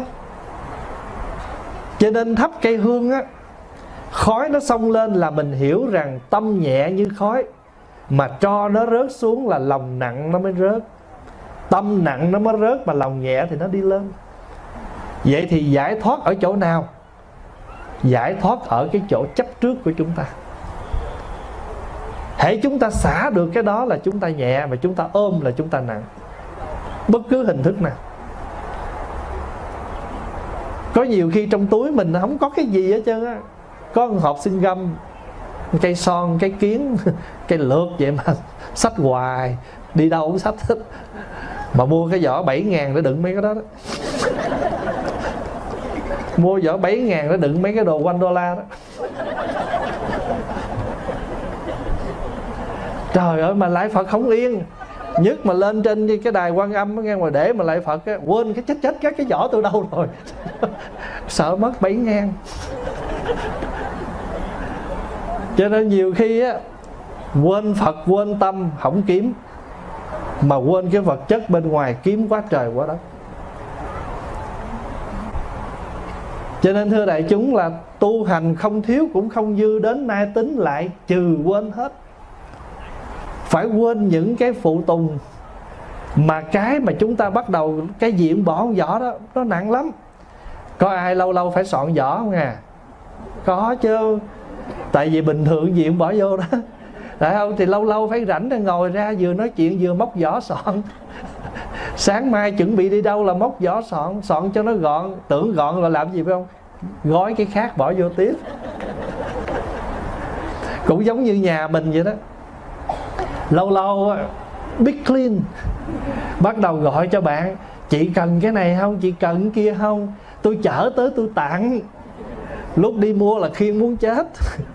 rồi bắt đầu thấy chật nhà quá khiên đi tặng. Rồi xong nhà trống rồi bắt đầu cái bữa khác đi, cái nhớ trực. Ồ, cái góc nhà đó của mình còn trưng được cái này à? Khiên vô để tiếng có không? Cho nên rốt cuộc nhà mình á, trống được một bữa thôi. Rồi tuần lễ sau là bắt đầu làm sao? Đầy lại hết. Tu vô, tu tu, chứng vô, chứng chứng. Bố thí mà không thấy mình, bố thí mới đại bố thí vì sao? Bởi vì khi mình bố thí mà mình thấy ba kỳ ba việc, thứ nhất là người cho. Mình là người cho, anh kia là người nhận. Đây là vật mình cho. Đó, ba cục, mình, người, cái vật, bỏ gió nặng không? Bây giờ tôi chỉ là người đủ duyên, có đủ cái phước, đủ cái căn lành, đủ duyên, tôi được cho mà nếu không có cái anh này, anh xin tôi lấy ai tôi cho? Mà cũng may mắn tôi có vật để tôi cho. Chứ nếu người ta xin mà tôi không có thì cũng chịu. Cho nên cuối cùng chẳng qua là duyên đủ, phước đủ thôi. Đủ lúc, đúng lúc tôi có phước tôi cho, có khả năng. Gặp lúc tôi có vật để tôi cho, gặp lúc người đến xin.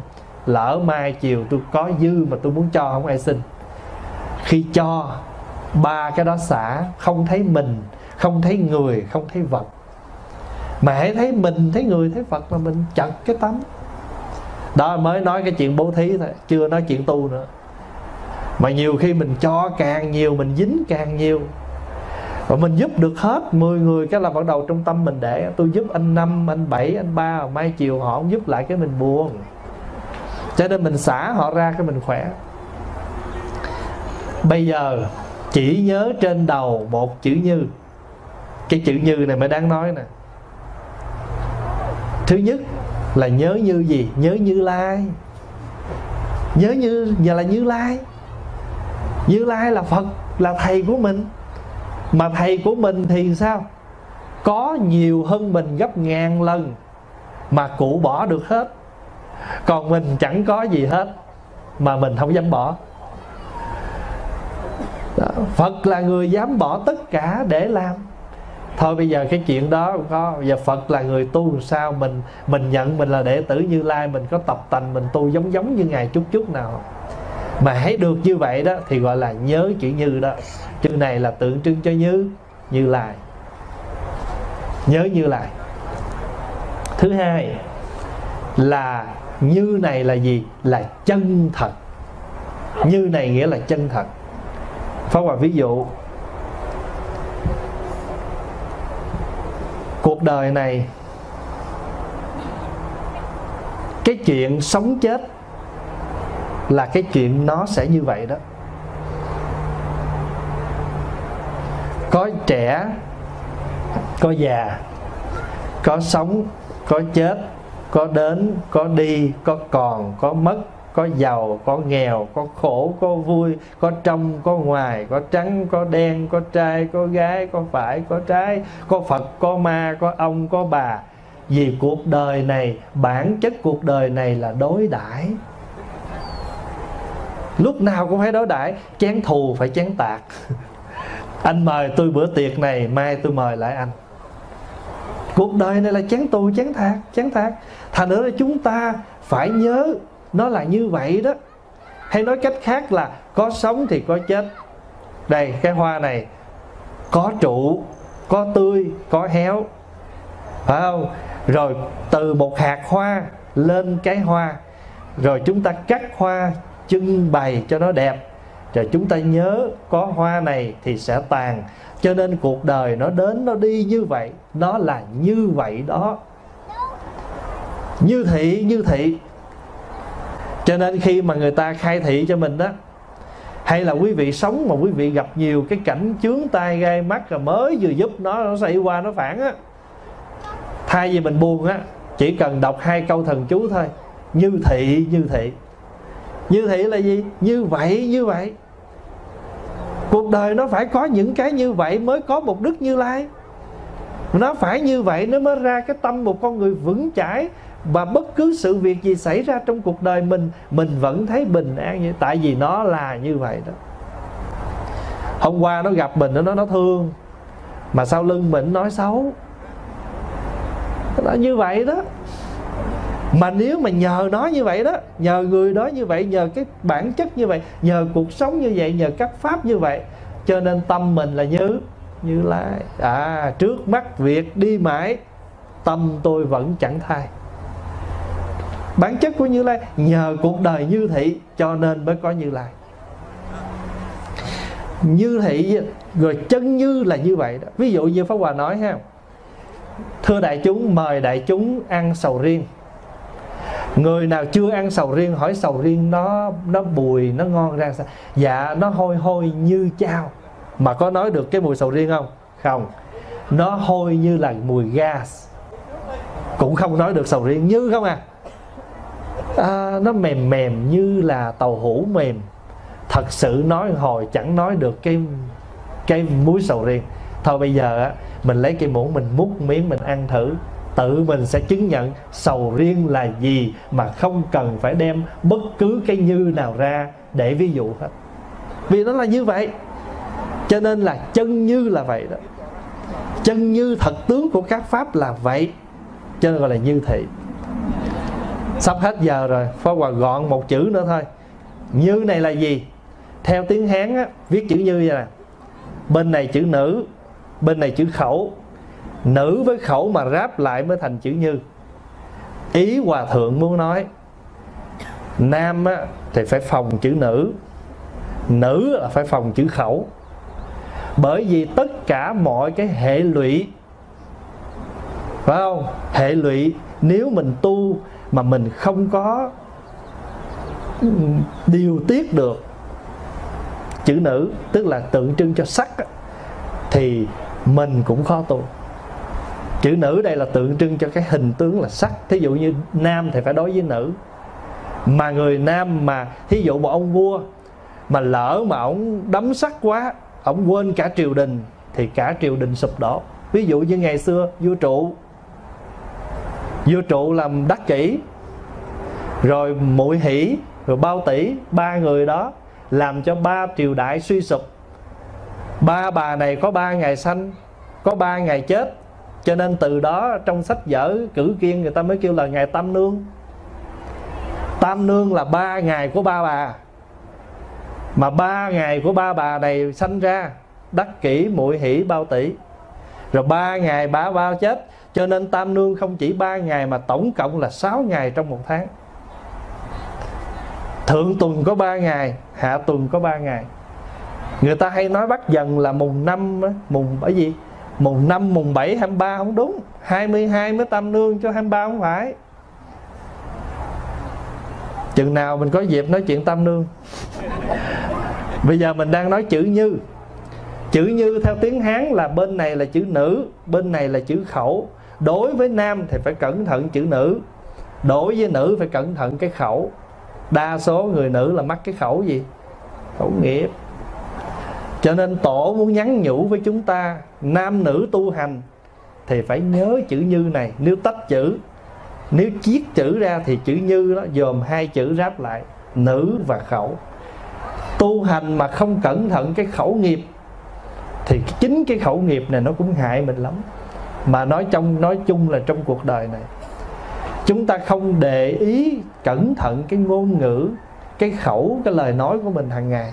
Chúng ta có thể tạo rất nhiều lỗi lầm qua cái khẩu nghiệp của mình. Chuyện có nói không, chuyện không nói có. Quý vị thấy chúng ta có ba nghiệp, thân, miệng, ý. Thân có ba lỗi, sát sanh, trộm cắp, tà hạnh. Vậy mà cái miệng tới bốn lỗi lần chuyện có nói không, chuyện không nói có, gọi là nói dối. Đâm bì thóc, thọc bì gạo, gọi là nói lưỡi hai chiều. Chửi rủa, mắng xả người ta, gọi là ác khẩu. Rồi chúng ta dựng chuyện nói những lời vô ích, không lợi ích cho ai, mà chỉ hại cho người. Đó gọi là nói lời ý ngữ vô ích. Miệng bốn lỗi. Ý có ba lỗi là tham sân si. Như vậy tất cả chúng ta tu cũng không ngoài ba nghiệp, thân, miệng, ý. Mà tổ thì lại nhắm tới cái chuyện khẩu nghiệp. Bởi vì ý mà suy nghĩ, có nhiều khi chưa ra lời nói nó đỡ hơn. Ý đã suy nghĩ rồi mà phát ra lời nói nữa thì thành họa. Phải không?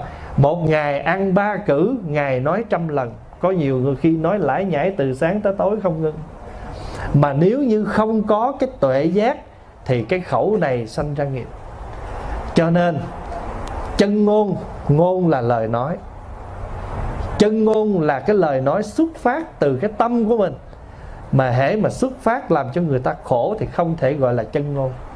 Nếu lời nói đó được xuất phát ra từ cái trí, từ cái lòng từ, thì lời nói đó gọi là chân ngôn mật ngữ. Cho nên thần chú đà ra ni là vậy, chứ không có gì đặc biệt đâu cho nên trong bát nhã tâm kinh không? Thị đại thần chú, thị đại minh chú, thị vô thượng chú, thị vô đẳng đẳng chú, năng trừ nhất thiết khổ, chân thật bất hư. Bài chú đó là gì? Yết đế yết đế. Dịch nghĩa đơn giản thôi. Cố gắng cố gắng. Ba la yết đế cố gắng hơn nữa. Ba la tăng yết đế cố gắng hơn thêm nữa. Bồ đề giác ngộ rồi ta bà ha reo mừng khi chúng ta đến được bờ bên kia. Như vậy, hôm nay, nhân dịp lễ phật đản, pháp hòa muốn thưa với đại chúng, cái chữ như mà chúng ta thường gọi cho đức thế tôn là như lai là phật. Thì chúng ta nhắc lại bài kệ của một vị tổ của phật giáo việt nam ta, đó là ngài phước hậu. Bài thơ kinh điển lưu truyền tám vạn tư tu hành không thiếu cũng không dư. Đến nay tính lại trừ quên hết, chỉ nhớ trên đầu một chữ như. Nghe bài thơ đơn giản, nhưng mà phân tích ra thì nghĩa lý sâu vô cùng. Và chính bài thơ này ngài đã để lại cho hậu thế chúng ta hơn trăm năm nay. Thì tất cả chúng ta đều là con cháu của tổ. Chúng ta thừa hưởng được cái nguồn giáo pháp của các tổ Việt Nam thì chúng ta có bốn phận tìm tòi, học hỏi, ghi nhớ trong lòng. Và khi chúng ta hiểu được cái nghĩa sâu rồi, thì chuyện tu hành chúng ta cũng đi sâu vào theo cái nghĩa mà chúng ta hiểu. Chúc đại chúng có một mùa lễ Phật đản thật là bình an. Và quý vị nhớ, lễ Vu Lan, lễ Phật đản, lễ bất cứ lễ gì trong Phật giáo, hãy nhớ nhắn tin cho nhau, chúc cho nhau những ngày lễ đó. Vì chúng ta sống ở nước Mỹ Valentine Day cũng send gửi Happy Valentine Day, Happy Mother's Day, Happy Father's Day, đủ thứ day hết mà quên birthday, quên Buddha's birthday. Như vậy thì nhớ ha, bắt đầu từ năm nay, mình có khả năng xem tất cả những lời chúc theo lễ của người Mỹ ở đây, thì Phật tử chúng ta cũng sẽ gửi nhau những lời chúc theo những cái ngày lễ của nhau để nhắc nhở chúng ta không quên những ngày lễ đó thì như vậy, mình không quên thì chắc chắn con cháu mình nó sẽ cũng không quên. Đến nay tính lại trừ quên hết, quên những cái không cần nhớ.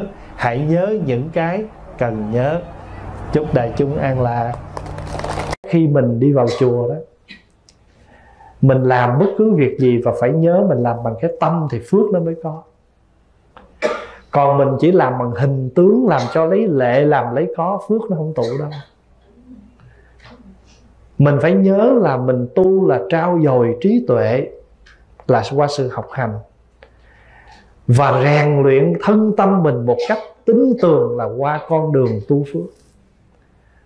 Mình quét cái nhà mà người ta tới người ta chê, quét sao không sạch nhưng mà nhờ cái đó, phước đức mình nó tụ cho nên tất cả những việc gì chúng ta làm, muốn có phước không? Phải làm bằng cái tâm tại vì cái tâm với cái thân nó kết hợp thì phước nó mới trọn. Cũng giống như xin lỗi mình đọc trong đầm gì đẹp bằng sen, đọc cái miệng mà tâm hiểu hiểu cái câu đó là cái gì? Thì khi mình diễn đạt cho người khác và mình sống bằng cái câu đó, lá xanh bông trắng lại chen nhị vàng nhụy vàng, bông trắng, lá xanh, gần bùn mà chẳng hôi tanh mùi bùn. Mình đọc tới đâu mình hiểu tới đó và mình ứng dụng được câu đó. Thân tâm mình đọc và hiểu nó tương ý, tương ứng với nhau và mình sống được. Nhưng mà ngược lại, con nít mình đưa nó học câu đó, nó vẫn đọc, trôi chảy, nhưng mà tâm nó không hiểu, thì nó không tương tác được, nó không tạo ra được cái đó. Cho nên trong cuộc sống của chúng ta cũng vậy chúng ta nghe kinh nghe pháp để làm gì? Để chúng ta, ta hiểu được lẽ thật của cuộc đời. Rồi chừng đó chúng ta sống trong đời mà tâm chúng ta tương ưng được. Cảnh giới nào chúng ta cũng tương ưng được. Cho nên đó, trong cõi đời này có 10 pháp giới. Phật Bồ Tát Thanh Văn Duyên Giác bốn cái đó gọi là bốn bậc thánh. Bây giờ sáu cõi phàm nè. Trời Atula người địa ngục ngạ quỷ súc sanh tâm ở giữa. Vậy thì thưa đại chúng, quý vị có nhận ra rằng trong cõi đời này có đủ 10 pháp giới không? Có những người sống như phật, có những người sống như bồ tát, có những người sống như thanh văn, có những người sống như viên giác. Nhưng cũng có những người sống sao? Atula địa ngục, ngạ quỷ súc sanh. Hàng ngày mình tiếp xúc đủ 10 cảnh giới này nhưng mà tâm của mình vững chãi thì tới cảnh giới nào mình cũng tùy cơ ứng hóa được hết. Cho nên Đức Quan Âm tại sao Ngài có thể làm ông tiêu diện lưỡi lê dài, Đầu bọc ba cái ngọn núi mực phần lửa Mà lúc đó không gọi là Quan Âm mà gọi là diện nhiên vương? Diện là cái mặt, Nhiên là lửa. Ông Bồ Tát có cái mặt lửa Mà lúc đó Ngài được gọi là diện nhiên vương. Nhưng mà bên trong cái, cái cốt tủy của Ngài là Bồ Tát Quan Âm. Rồi thì ngài lại là một cái vị cầm một cô nữ cầm cái giỏ cầm cái sen đi trên đầu rồng đứng ở ngoài biển. Tại vì ngài có thể cái tâm ngài vững và ngài có thể tương ưng hết. Mỗi cảnh giới chúng sanh cảnh giới nào ngài cũng tương ưng được chúng ta cũng thế. Chúng ta cũng vậy. Nếu mà mình vững chãi như núi xanh thì mình thảnh thơi giường mây trắng. Mà mây thì nó làm sao? Nó đủ dạng hết. Có khi nó dáng này, có khi nó dáng kia bởi có nhiều người nó ô, phật hiện phật hiện. Nhìn vô đám mây, nhìn như phật vậy, kêu phật hiện. Chạy ra, đám mây biến, không còn cảnh đó nữa. Cửa vô sinh mở rồi cửa vô sinh là cửa gì? Là cánh cửa không còn của sự khổ đau, sanh tử, đối đãi nữa. Bây giờ mình sống mình thích ứng với tất cả mọi nơi mà mình không còn phân biệt nữa. Này tốt, này xấu, này hay dở mà mình có thể thích ứng được mọi việc vấn đề cái tâm của mình nó coi vậy chứ cái cái cái khởi tâm phân biệt còn nhiều lắm. Chỉ cần ví dụ, phóng vào ví dụ thôi. Một đứa nhỏ đó tới nó đây con là con của ông đó. Cái ô con của ông thị trưởng. Cái mình tiếp khác à. Con của cái người nào nổi tiếng ở trong cái vùng mình sống đó, tiếp, mình tiếp họ cách khác. Mà nếu mà nó là con của một người bình thường mình biết nó là ai, mình tiếp nó cách khác dù mình đã cố gắng nhưng mà nó vẫn còn chút chút đó. thậm chí mình nghe mình đệ tử thầy nào đó người ta cũng tiếp mình khác hơn chút. Cuộc sống là nó vậy. Nhưng mà đối với cái người mình tu rồi á thì mình vượt được cái đó đó thì mình không hễ có sinh thì phải có tử. Phải không? Nhưng mà khi mình chạm được cái cửa vô sinh là gì? Không có tử cửa vô sinh, cửa vô sinh là cửa đã có sinh thì có tử. Hễ gặp cửa vô sinh thì sẽ có cửa không tử. Mà bất sinh bất tử thì sao? Sống bình an, không khổ lụy lên xuống. Cái chữ sinh tử ở chỗ này muốn nói là cái tâm lên xuống trồi hụp, khổ đau, vui buồn của mình. Nhà phật hay dùng chữ sanh tử để nói cái đó. Thí dụ như đấy phật đã tu tới cảnh giới không còn sanh tử nghĩa là không phải phật đi một cõi nào đó, nhưng mà phật không còn chi phối bởi cái đó nữa, mặc dù ngài vẫn sanh và vẫn tử ví dụ như bây giờ mình á không là ví dụ vậy nè. Đại chúng đã từng ăn phở đủ hương vị, nghĩa là phở có lá quế, có à, tương ăn phở, có ớt, tương ớt, đã từng ăn một tô phở gọi là đầy đủ gia vị. hôm nào mình đi đến một cái thành phố nào đó mà ở đó cái hẻo lánh lắm. Gia vị mua rất là khó nhưng mà người ta cố gắng, người ta nấu nồi phở trình ăn. Nhưng mà không có quế, chỉ có giá thôi. Không có tương ăn phở chỉ ăn bình thường, ăn được không? Tại sao? Vì mình đã từng ăn tô phở đủ vị hết rồi. Bây giờ ăn một tô phở thiếu vị, mình vẫn bình thường. Đó sống được cái đó là cửa vô sanh mở rồi. Vẫn ăn, như người ta ăn, mà lúc này không còn ngồi càm ràm nữa. Sao không nói tôi bưng tương qua. Trời, tôi kali tôi thiếu gì? Cái vấn đề là bây giờ mình có ăn được tô phở này hay không? Còn cái vấn đề mình bưng qua để đủ vị là chuyện bình thường còn cái hay của mình là thiếu mà mình vẫn bình an. Sống được như vậy là cửa vô sinh mở rồi. Thì chừng đó cái tâm mình sao? Trạm nhiên và bất động. Mà trạm nhiên bất động là thể tánh của như như lai. Bởi vì chữ lai là mọi việc nó đến, còn chữ như là bất động vững chãi hai chữ như lai nghĩa là vậy đó. Chữ như là cuộc đời này nó cứ đến. À xin lỗi, chữ lai là cuộc đời này cứ đến. Dù đến, dù đi, tôi cũng xin tạ ơn người, tạ ơn đời. Cái người đến, họ cũng cho mình được một cái gì đó. Cái người đi, họ cũng cho mình được cái gì đó. Ví dụ như người ta đến, mình mở nhà hàng, mình đến, người ta đến, người ta ngồi vô ta ăn mừng không? Mừng. Mà ta ăn xong mình đi mình cũng mừng nữa ta có chỗ người khác. Cảm ơn đó cho nên cuộc đời này có nhiều người đến làm cho mình hạnh phúc được 5 năm. Cũng cảm ơn. Sau 5 năm làm mình khổ tơi bời. Mà bữa đó nó, nó quyết định nó đi chờ tôi lại. Không có gì khổ hết. Đủ duyên thì đến đủ duyên thì anh đi. Sống mà làm khổ nhau không nên vì cuộc đời này vốn đã khổ rồi cho nên mình mới tìm cách mình đến với nhau để cho mình có được một niềm vui. Nhưng mà nếu mình hết khả năng làm cho nhau vui thì cứ nhẹ nhàng tùy duyên trạm nhiên và bất động. Thì pháp hòa nói đến trong cuộc đời này cũng vậy. Cho nên ví dụ như á, cái ăn là cái mình khổ nhất. Cái mặt thật sự mình đã từng ăn đủ vị mà chứ có bao giờ mình mà bữa nào mình thiếu một chút, mình chịu không nổi, làm sao? Mình đã từng ăn đủ vị thì hôm nay nó thiếu một chút, có sao đâu. Cứ bình thường thôi. Có nhiều lúc mình đi một cái chỗ nào đó, mình nghĩ là nó ấm cho nên mình mang không đủ áo lạnh. Thì bây giờ cái mà mình làm là gì? Quấn cái gì mình có lên. Ấm được nhiều ấm, còn cỡ nó thôi không có đủ thôi khỏi mặt, cái này nó chết giấc á. Và bảo đảm là chết chắc. Cho nên trong kinh á phật kể câu chuyện có cái anh đã nuôi khát nước lắm. Thì anh đến với người ta thì người ta mới nói ô khát nước hả? Thôi à, mời anh ly nước. Anh nói không tôi khát dữ lắm ly này không đủ đâu thôi khỏi uống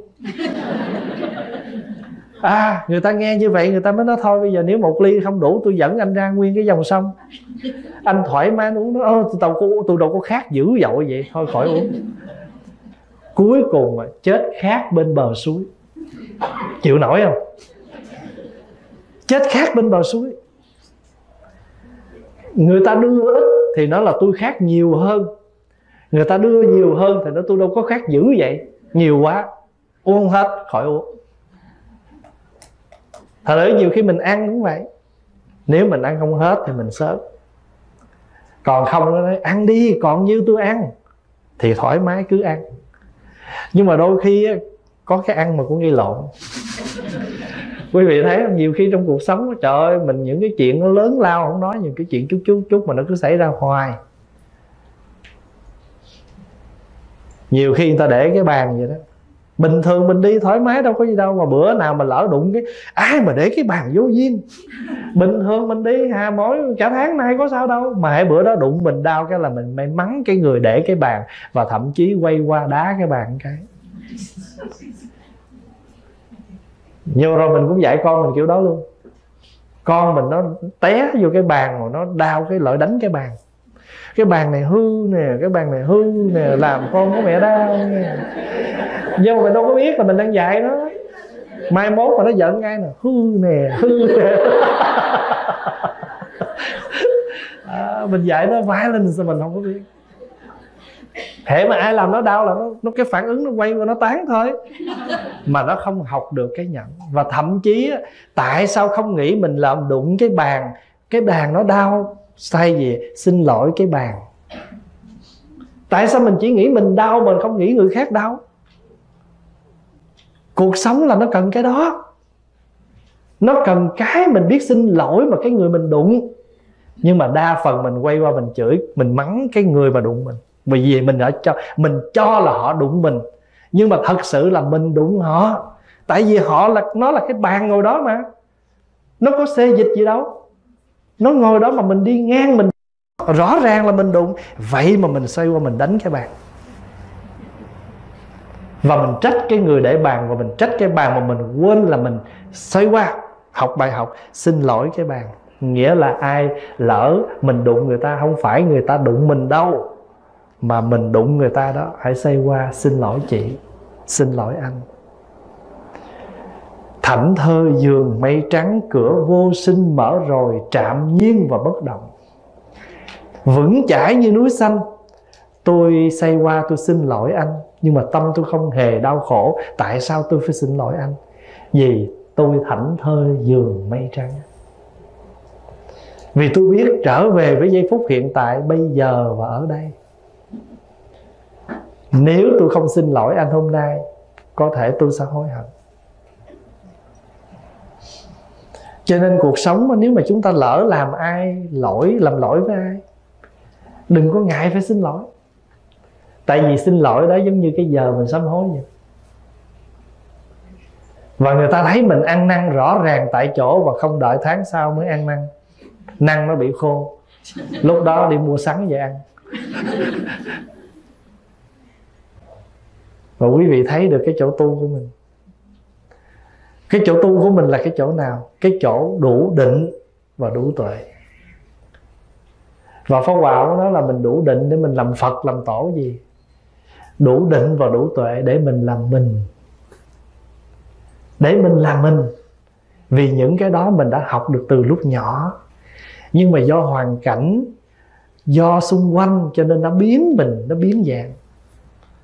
Chứ thật sự những điều này mình học hết rồi học từ lúc mình còn nhỏ, ba mẹ ở nhà dạy.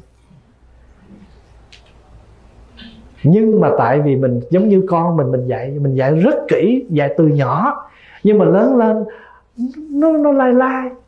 Nó không có nói giống mình nói, nó không sống giống mình sống. Là tại vì cái hoàn cảnh con người mà nó tiếp xúc, cái dạng vậy nhiều hơn tiếp xúc với mình, cũng không trách được nhưng mà mình mở lòng, mình chấp nhận, mình biết nó đang sống môi trường nào, hoàn cảnh nào. Quý vị biết là ở trong nhà mình có một cái bàn gỗ hay một cái khăn bàn. Mình trải như vậy nè, rồi mình mở cửa sổ, nắng ngày nào nó cũng rọi vô. Một thời gian là tự nhiên cái khăn bàn nó bị sao? Nó bị bạc màu. Đâu có ai làm gì nó đâu. Rõ ràng không thấy ai tới chùi lao gì nó cả vậy mà một thời gian sau nó lại bạc màu. Mình cũng như thế. Nếu mà mỗi cái hoàn cảnh mọi cái cái cái cái cái đó, cái nắng mà của cuộc đời mà cái khó khăn mà nó cứ soi vậy, mình bạc màu lúc nào mình không thấy. Cho nên tại sao mỗi ngày mình phải tụng kinh? Tại sao phải ngồi thiền mỗi ngày? Tại sao phải trì chú niệm phật mỗi ngày? Tại vì mình làm cho nó đậm cái đó lên. Mình không để cho cái kia nó bạc kinh mà nhớ tôi nhớ hồi nhỏ tôi thuộc á mà lâu quá tôi không tụng tôi quên. Đó. mình biết nói vậy nghĩa là mình không lâu quá. Cho nên á hễ mà mình để khăn vậy hễ thấy nắng quá cái lợi dặn cái màn lên để cho nắng nó không làm bạc màu. Cũng như thế có đôi lúc mình mở cho nó sáng mà có đôi lúc mình quay cho nó tối. Và hãy ban ngày mình mở ra tại ta đi ngang ta không thấy bên trong mà ban đêm ở trong mở đèn thì mình phải tắt, phải đóng cửa sổ bên ngoài ta có thể thấy vào. Ngày mình cứ chỉnh màn, mở màn. Nhưng mà mình không chỉnh, mình mở mình. Cho nên tim mình cứ đóng hoài thì bây giờ phải có bài hát gõ cửa trái tim. Và thưa đại chúng, mà khi mà mình thấy, ô, mọi sự việc trong cuộc đời đó, nó giống như cái sự tu thành của mình mỗi ngày vậy thôi à nấu cơm cũng tu được, lặt rau mình cũng tu được, và làm gì mình cũng thấy thiệt cái tu nó tràn ngập, nó trải dài trong sự sống. Thí dụ mình cầm cọng rau lên, mặt trời xanh rờn, một rổ rau tươi, vạn pháp nương nhau làm nên cuộc sống. Nè, mình tưới cọng rau dền, bữa nay rau dền nó lên, bây giờ mình ngắt rau dền vô, mình ăn mấy tháng trước mình nuôi rau dền, hôm nay nuôi rau dền, nuôi lại mình. Rồi mình ăn xong vô này cái nó nuôi bao tử, nó nuôi máu, nó nuôi thận, nó nuôi gan, nó nuôi hết cơ thể mình. Cái nó ra nó thành phân cái nuôi được số khác. Rồi nó lên, nó nó có phân bón cho cây cỏ nó lên nữa. Thấy chưa? Mặt trời xanh rờn, một rổ rau tươi vạn pháp nương nhau làm nên cuộc sống. Cái bài hát á con giống ba. Cái gì đó? Vì con thương ba à, con giống mẹ gì đó. À, cả nhà ta cùng yêu thương nhau. Sở dĩ mẹ thương con tại vì con giống ba. Nếu con giống hàng xóm thì không phải vậy đâu. chân lý nằm ngay đó đó. Chân lý nằm ngay đó đó. À, có nhiều khi cái mình bực của mình mày giống con cha mày. Hậu giống nó là sao bà thương? Nhưng mà giận quá tức nói vậy đó. Nhưng nói vậy thôi nhưng mà cuối cùng khoái lắm. Cho nên mình nhìn cái cọng rau đó mình tu được.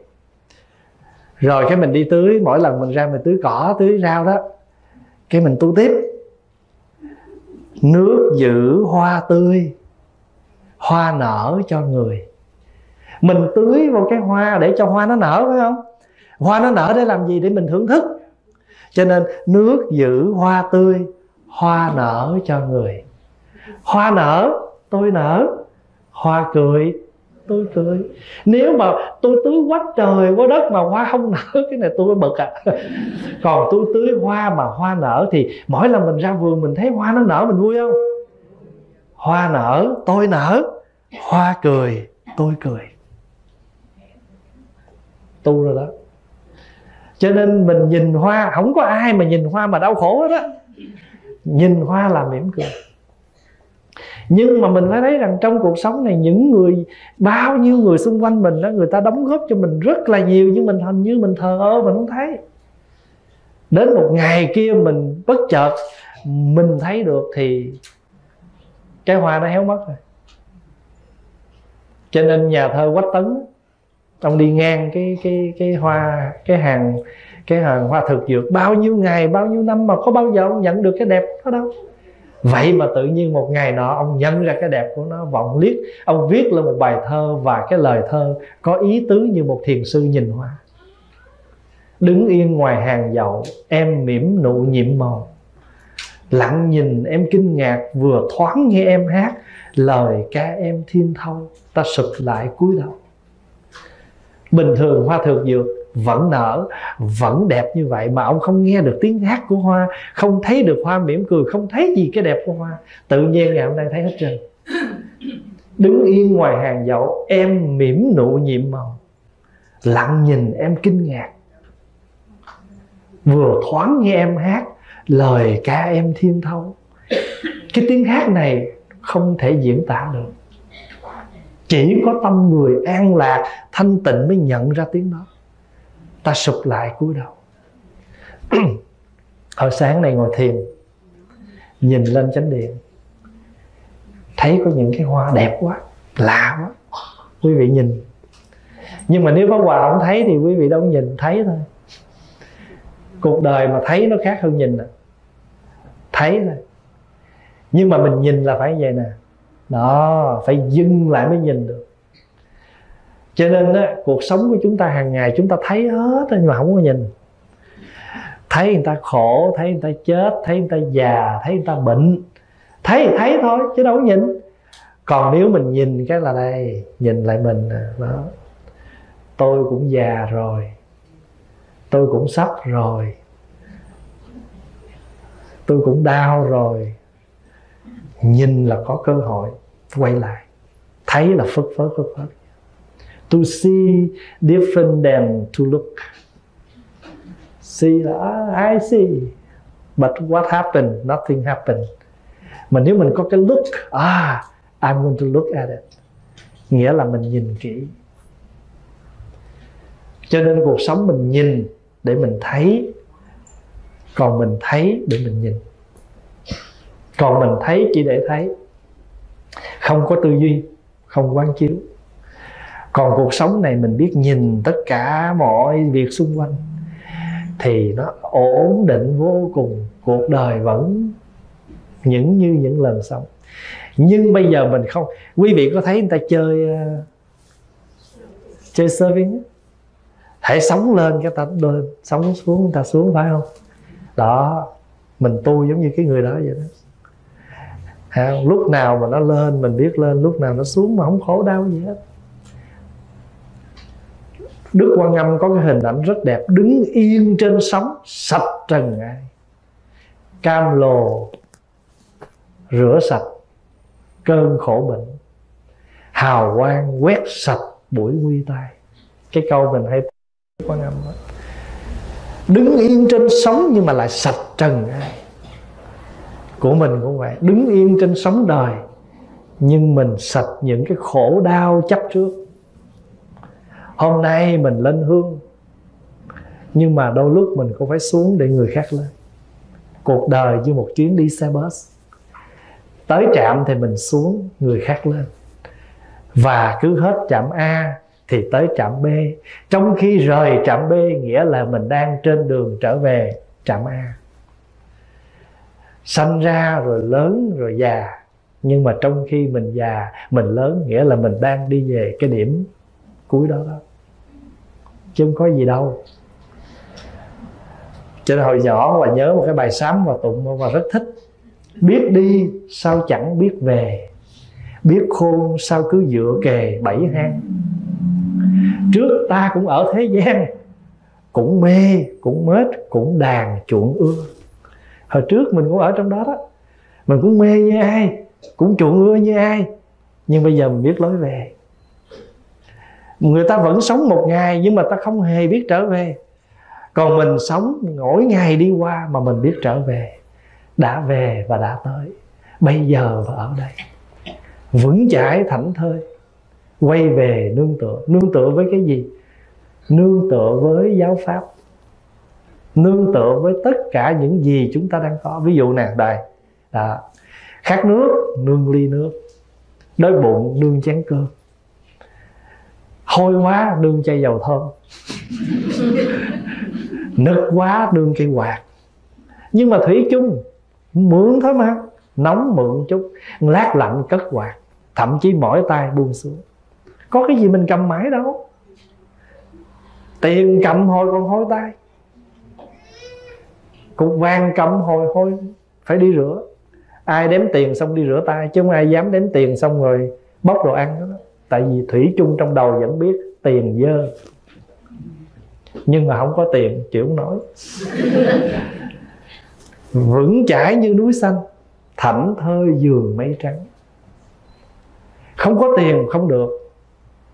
Mặc dù biết cầm tiền giơ tay. Nhưng mà không có không được cầm. Nhưng mà cầm xong rửa tay. Đó nhiêu đó thôi. Chỉ cần thấy như vậy thôi xài chiếc xe. Đang tốt, biết, lái cẩn thận. Dù cẩn thận cỡ nào, nhưng một thời gian sau, nó phải cộ kêu là xe cộ mình phải cộ nó vô cái chỗ sửa. Mình đi chiếc tàu, có bữa nó ạch ạch, phải bè, kêu tàu bè. Mình xài cái máy, có ngày nó móc mở nó ra, móc từng bộ phận ra sửa, kêu máy móc.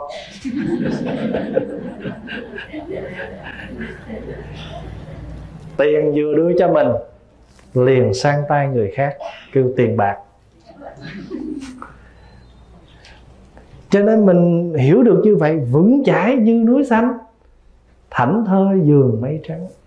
Biết rất rõ nhưng mà không từ cũng không khổ mà mình, cái gì làm cho mình có được cái đó? Cái định và cái tuệ. Bây giờ đại chúng định bằng cách ngồi thiền. Đại chúng định bằng cách nghe kinh. Đại chúng định bằng cách tụng kinh. Đại chúng định bằng cách niệm phật. Niệm phật, ngồi thiền, trì chú, tụng kinh là công thức giúp cho tâm định. Hôm nay mình tụng, cái tâm mình nó còn nghĩ lăng xăng, không sao vì lăng xăng cho nên đây là phương pháp. Mình ngồi thiền mà còn nghĩ lung tung, không sao. Ít nhất chỉ mới nghĩ lung tung mà cái thân bắt đầu yên. Còn trước kia, đầu lung tung, tay chân lung tung theo. Còn bây giờ, thân đã bắt đầu tịnh còn bất quá cái này nó còn đi thôi, đỡ lắm đó nhiều khi mình có khởi niệm giữ mình chưa đi tới hành động thì còn đỡ khởi niệm mà đi tới hành động thì trọn vẹn. Thí dụ thấy đồ tốt, ngó liền. Cái chủng tử tham, nó trồi lên, nó nói coi coi có ai không? Bởi vì cái cái chủng tử tham mình có. Rồi cái đồ tốt của người ta là cái duyên để mình khởi tâm. Rồi bắt đầu nó nghĩ ra phương thức thậm chí giả bộ đi tới, hất cái tay xuống cho nó rớt rồi dậm chân lên nó đứng. Đó là cách thức tham. Khi người ta đi ra rồi bắt đầu mới bóc bỏ túi. Chủng tử tham có, vật chất là cái duyên bên ngoài nó có. Hai cái đó nó phối hợp cho nên làm cho mình nghĩ ra cái cách thức nào mình tham. Và khi duyên có, bản chất tham có nghĩ ra cách thức tham rồi bắt đầu thành tham là lấy. Nhưng cái định nó cúi xuống đứng hồi. Đứng hồi mà sao bà này bà đi ở đây hoài bà không chịu đi? Mỏi quá. Và bây giờ mình lại muốn đi. Thôi lượm lên để lại đây đi. Chắc không lấy ra khỏi đây đâu. Mà như vậy là tự nhiên mình nói, mình cũng nghe pháp, cũng tu tập được nhiều rồi mà sao mình còn dày? Để lên lại cái định cái tuệ nó nói với mình cái mình giữ giới trở lại. Không thấy. Hồi nãy mình lấy là mình phạm giới rồi. Mà nếu mình mà lấy cái đó là mình mất tham à, xin lỗi mình mất cái định mất cái tuệ. Nhờ định tuệ cho nên làm cho cái dự sự giữ giới mình nó xong. Sáng nay Pháp Hòa thưa với đại chúng là cái bài hát đó, đó. Thì bây giờ quý vị thấy là một bài thơ được phổ ra làm nhạc nhưng mà khi mà một bài thơ chắc có lẽ mình không thuộc, nhưng nếu nó biến ra thành bài nhạc thì mình sẽ thuộc hơn. Đã về, đã tới, bây giờ ở đây. Vững chãi thảnh thơi, quay về nương tựa. Nay tôi đã về, nay tôi đã tới. An trú bây giờ, an trú ở đây. Vững chãi như núi xanh, thảnh thơi giường mây trắng. Hồi nãy phó Hòa có thưa với đại chúng vậy đó. Vững chãi nghĩa là mình tâm mình rất là vững và cái oai nghi tế hạnh mình nó có, nhưng mà không có bị gò bó. Quý vị đi kinh hành đó, cứ đi thoải mái thôi. Nam mô a di đà phật. Thì nếu mà mình muốn định cái tâm mình đó, nam mô a là bước chân trái, di đà phật là bước chân phải. Để giúp hai cái bước chân nó giúp cho mình định bằng cách là a trái mà phật phải nhưng mà mình đi, mình bước cái bước nó rất là thông dong. Chứ không cần phải đi như robot. Không? Nam mô a di đà phật. Cái người ta thấy mình à, mình đi thiền hành, nhưng mà mình rất là bị vô cái khuôn. Phải không? Cũng giống như mình chắp tay vậy đó, cứ chấp bình thường. Trời ơi, nhiều khi mình chắp tay như là thiếu lâm tự vậy. Không? Cứ bình thường chắp tay vậy thôi. Không, rồi mình lại phật, cứ bình thường. Đây, đưa cái đỉnh, cái ngón này nè, lên đây nè. Cái này là mở. Đưa cái này lên để khai. Cho nên khi mình chấp tay cái tay của mình chấp vậy là một cái ấn nè. Cái ấn này gọi là gì? Ấn này gọi là phổ cúng dường. Ấn phổ cúng dường chấp đây này. Nhưng mà khi mình đánh lễ là phải đưa lên, mình đưa lên đây cái thấy không? Này. cái chỗ này là cái chỗ khai. Và cái chỗ này mà khai rồi nó thông, hạ xuống. Mà mình làm rất là nhẹ nhàng. Chứ không cần phải uh...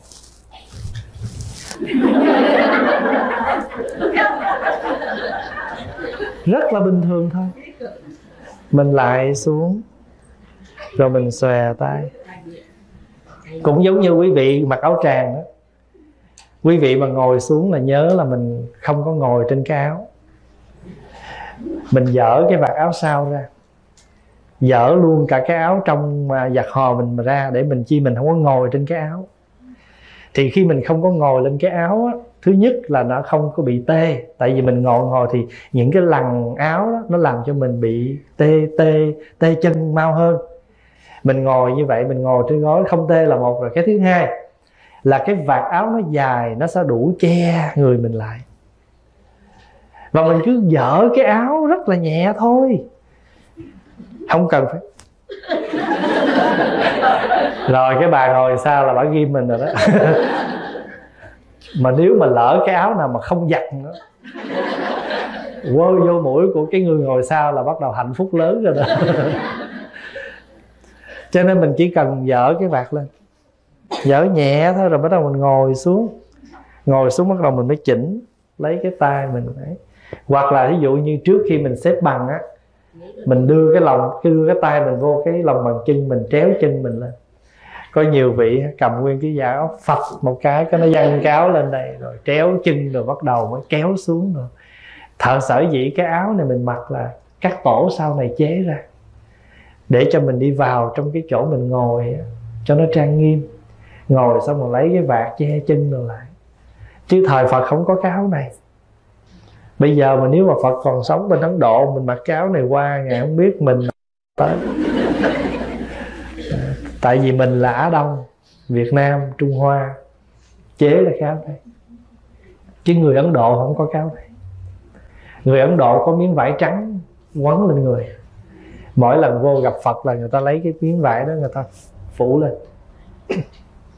Để tỏ lòng cung kính. Cho nên mình làm tất cả, nhưng mà vững chãi và thảnh thơi. Ví dụ như á, thường thường mình lên tụng kinh á có nhang. Bữa nay mình tới cái chỗ đó người ta không cho thắp nhang. Thảnh thơi thảnh thơi. Trời ơi, cúng mà không có nhang. Khẩn làm sao đây? Tại vì mình quan niệm phải có cây nhang để mình connect. Connect. Vừa rồi pháp hòa đi giảng vào trong cái ngày đó đóng hai ngàn người. Cái buổi giảng nó hai ngàn người. Pháp hội lớn, tụng kinh.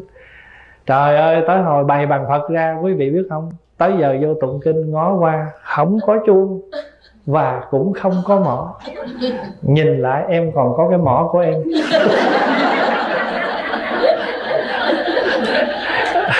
Cái cái phật tử mà ta phụ trách set up bằng thờ á, lời nói nhỏ, còn còn sám hối thầy, còn quên mang chuông mỏ rồi sao thầy? Pháp hòa nói, không sao, pháp hòa xài mỏ pháp hòa.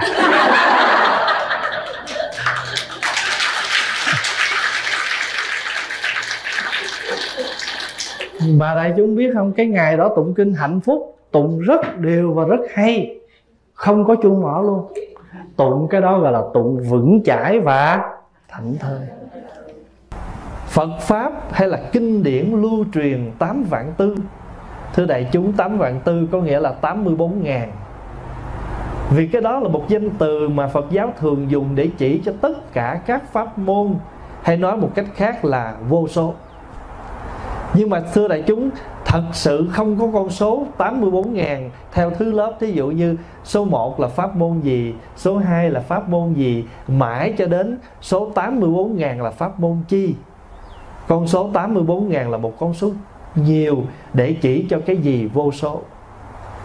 Ví dụ như Việt Nam mình cái gì mà nhiều quá cái mình nói là sao? Trời ơi, thôi, hằng hà cái chữ hằng hà đó là chữ của Phật giáo. Bởi vì Đức Phật thường lấy sông Hằng ở Ấn Độ. À ở Ấn Độ có cái sông tên là sông Hằng. Và cát ở dưới sông Hằng rất là nhiều. Cho nên Đức Phật đã dùng danh từ đó để chỉ cho cái gì số nhiều thì Đức Phật thường dùng hằng hà sa số. Và ngày nay cái chữ hằng hà đó nó đã đi vào trong văn hóa chữ nghĩa Việt Nam. Và người Việt Nam đã dùng cái chữ hằng hà như một cái cái câu nói hàng ngày trong cuộc sống cái gì mà số nhiều. Nhưng mà thật bây giờ truy ra thì, tìm ra thì chữ đó là chữ của Phật giáo. Thì cũng như thế, Phật pháp nó giống như là vị thuốc, có thể trị tất cả các loại bệnh mà không nhất thiết là phải kẹt vào một cái công thức nào, tùy theo bệnh mà cho thuốc. Ví dụ như mình là người lớn, nhức đầu, nặng quá, uống hai viên Tylenol. Nhưng mà một em nhỏ dưới 12 tuổi mình có thể cho nó nửa viên thôi. Là vì có thể nó chưa đủ cái sức để nó chịu được một viên Tylenol 500mg hoặc là mình chia làm hai cho nó uống nửa viên, nửa tiếng sau tiếng sau cho nó nửa viên nữa. Miễn làm sao mình dùng đúng thuốc tùy theo cái tuổi. Như vậy cũng là một cái việc cho thuốc, nhưng mà chúng ta rất rành và rất rõ tuổi tác như thế nào, sức khỏe như thế nào để chúng ta dùng thuốc. Ví dụ như chúng ta uống thuốc bắc, lẫn thuốc tây, thì thường thường là thuốc tây và thuốc bắc phải uống cách nhau 4 tiếng để nó không có cái sự trộn rộn mà tới hồi chết, không biết thuốc nào mà hết cũng không biết thuốc nào. Cho nên uống thuốc tây xong rồi 4 tiếng sau có thể uống thuốc ta, uống thuốc bắc. Và thậm chí những người mà người ta trị bệnh mình hoàn toàn bằng thuốc bắc thì trước khi người ta trị bệnh bệnh á, thí dụ mình nói mình bệnh gan, thì người ta không thể cho thuốc liền trị bệnh gan. Mà trước hết ông thầy thuốc bắc phải cho mình 10 thang thuốc sổ độc phải sổ độc trước. Sổ độc ra rồi thì bây giờ cái gan nó còn nguyên khối gan đó đó. Đưa thuốc vô trị thẳng thì mới có cơ may trị được bệnh. Nếu như bệnh gan mà không sổ độc trước mà uống thẳng thuốc thì chẳng tác dụng gì. Bởi vì cái độc nó còn bao phủ cái lá gan thì làm sao thuốc nó vô thẳng lá gan được? Phải không? Cũng như vậy. Ví dụ như quý vị kho đồ kho đó kho mít nè, kho khổ qua mà muốn kho cho ngon á, là cái trái khổ qua tươi đó sắc ra khúc khúc rồi đem đi chiên. Đừng có lấy hột ra để nguyên hột. Bởi vì mình lấy hột ra là mình chiên, mình kho khổ qua nó bị nát, bị nhừ. Phải để nguyên cái hột để nó nó giữ cái cái cái khoanh khổ qua cho trọn. Chiên deep fry. Xong rồi để cho nó ráo dầu mà trước khi chiên nó xả nước sôi cái để cho nó bớt dầu tại sao phải chiên? Thứ nhất, làm cho khổ qua không bị bấy. Thứ hai, ăn cho nó thơm, nó béo. Mà mình muốn kho ngon như vậy là phải chiên trước. Rồi mới có thể đem chiên nó mới tên kho nó mới ngon hay là muốn kho mít non á, mít non mà muốn kho cho ngon á, chiên rồi khi mà làm nước kho phải để vào trong đó một lon rút bia một chai xá xị. Tại vì xá xị là cái chất làm cho mít kho lên đỏ mà mềm, mà không cần phải xài đường. Xài nước dừa tươi, xài coca cola hay là xài root beer, không cần xài đường. Thì pháp hòa nói là, pháp hòa ví dụ như vậy cũng giống như là mình nấu ăn thì thiên hình vạn trạng. Nấu ăn là một nghệ thuật mà thiên biến vạn hóa thì Phật pháp trị bệnh chúng sanh cũng thiên biến vạn hóa như thế. Cũng một bài pháp đó mà nói với người lớn tuổi khác, mà nói với con nít khác. Cũng từ tứ diệu đế, mà con nít học tứ diệu đế học cách khác, mà người lớn thâm Phật pháp học khác. Phật tử sơ cơ học tứ diệu đế học khác. Phật tử thâm niên nghiên cứu Phật pháp sâu rồi, giảng tứ diệu đế giảng cách khác. Cũng một bài pháp tứ diệu đế mà tùy ba căn cơ, sơ cơ, trung cơ và thượng cơ. Sơ cơ là người mới. Không? mà nếu như cái người mà người ta chưa có quen thì không thể nói cái cao được. Cũng như niệm phật có bốn cách. Niệm phật có bốn cách. Người chưa thuần tâm, lấy sâu chuỗi, niệm phật. Niệm ra tiếng, tay lần chuỗi. Cái đó gọi là trì danh niệm phật. Tâm còn tán loạn quá chưa nhớ phật nổi, lấy hình phật để trước mặt khi niệm phật. Cái đó gọi là quán tượng niệm phật. Hay là quán tướng niệm phật. Để cho cái hình ảnh phật nó thu vô trong cái tâm mình, trong cái đầu mình. Lỡ đi đâu không có hình phật, nhắm mắt lại vẫn có hình phật ra, chừng đó gọi là quán tưởng niệm phật. Trì danh niệm phật, quán tướng niệm phật, quán tưởng niệm phật. Đến khi nào mình thuần thục ngồi đâu tiếng phật cũng văng vẳng bên tai. Bất cứ lúc nào trong tâm mình cũng lưu xuất câu niệm phật. Cái đó gọi là gì? Thật tướng niệm phật. Không cần ra tiếng, không cần cầm chuỗi, không cần hình phật, mà tâm lúc nào cũng có phật và lúc nào cũng có câu niệm phật. Trường hợp đó gọi là thật tướng niệm phật. Cũng là một niệm phật, cũng là niệm phật, nhưng mà có cách niệm phật. Anh ngồi tê chân quá phải không? Thiền tọa niệm phật không được, phải không? Đứng dậy đi đi. Vừa đi vừa niệm là kinh hành niệm phật. Trời ơi, tôi bệnh quá, tôi ngộ không nổi. Tôi làm gì cũng được. Nằm niệm phật. Nằm mà niệm phật theo hơi thở. Thở vô, a di, thở ra, đà phật. Cái đó gọi là gì? Sổ tức niệm phật. Sổ tức niệm phật là đếm hơi thở niệm phật. Bước chân đi là kinh hành niệm phật. Lần chuỗi là trì danh niệm phật nhìn phật là quán tướng niệm phật. Không có phật, tưởng tượng, quán tưởng niệm phật. Bất cứ hình thức nào, đến một lúc nào đó, tâm thuần thục. Đi đâu làm gì? A di đà phật a di đà phật cũng lưu xuất trong tâm mình. Cái đó gọi là thật tướng niệm phật. Kinh điển lưu truyền tám vạn tư tu hành không thiếu cũng không dư. Tại sao không thiếu cũng không dư?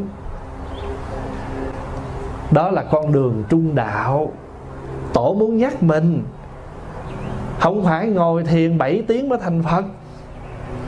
Anh ngồi một tiếng đồng hồ, Còn 6 tiếng còn lại anh làm việc nhà, Anh tròn bổn phận. Tu như vậy là không thiếu cũng không dư. Đủ cho mình sức khỏe, Đủ bổn phận của mình. Tu mà người nhà đi tới lui không thấy mít mình. Lo niệm Phật mà cơm không nấu.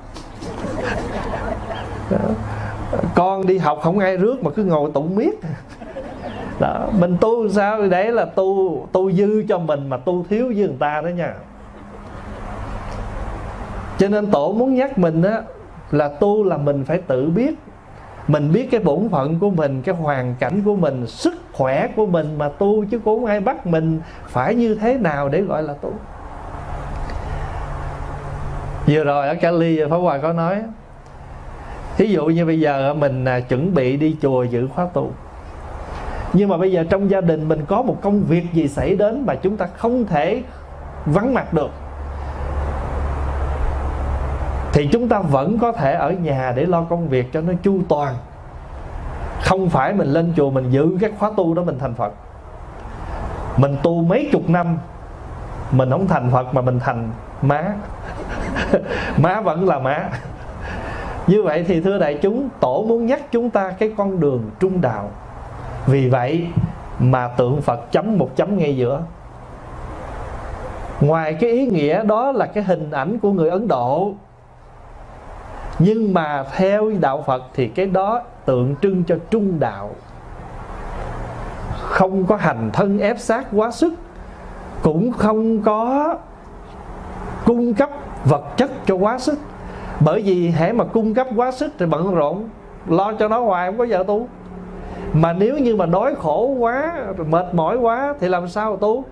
Cho nên hai con đường đó không được. Đức phật ngày xưa đã từng qua cái con đường khổ hạnh đó. Khi mà đức phật xỉu đó, thì có một đoàn hát đi ngang. Căng dây đàn quá độ, dây đàn đứt thay dây đàn khác, không dám căng để lỏng lỏng đàn không kêu. Thì cái người biết lên dây đàn, ta căng dây đàn vừa chừng, đánh lên cái tiếng nó kêu hay. Đức phật ngộ ra từ đó, thì ra tu hành là phải như căng dây đàn. Căng vừa chừng, kêu hay. Căng quá, nó đứt. Đùng quá, nó không kêu tiếng. Như vậy thì chúng ta cũng thế. Cho nên khi mà đức phật giảng cái bài pháp đầu tiên khi đức phật vừa thành đạo, thì ngay cái câu khởi đầu đức phật nói liền, này các thầy các thầy cần tránh hai cái cực đoan. Một là quá vật chất, hai là quá hành thân khổ hạnh. Bởi vì ví dụ như mình đây nè, sáng lo ngày ăn ba cử là mình thấy hết giờ rồi đó. Một ngày mà ăn ba cử là thấy hết giờ rồi nội cái nấu rồi ăn thôi. Mà nếu mà ăn gấp cái ta nói ăn vậy bởi cực cái bắt đầu mình ngồi mình tập ăn chậm. Ăn chậm để chứng tỏ là mình sao thảnh hơi ăn xong trễ giờ. Đó thành thứ ra rồi. Ăn sáng, ăn trưa, ăn chiều.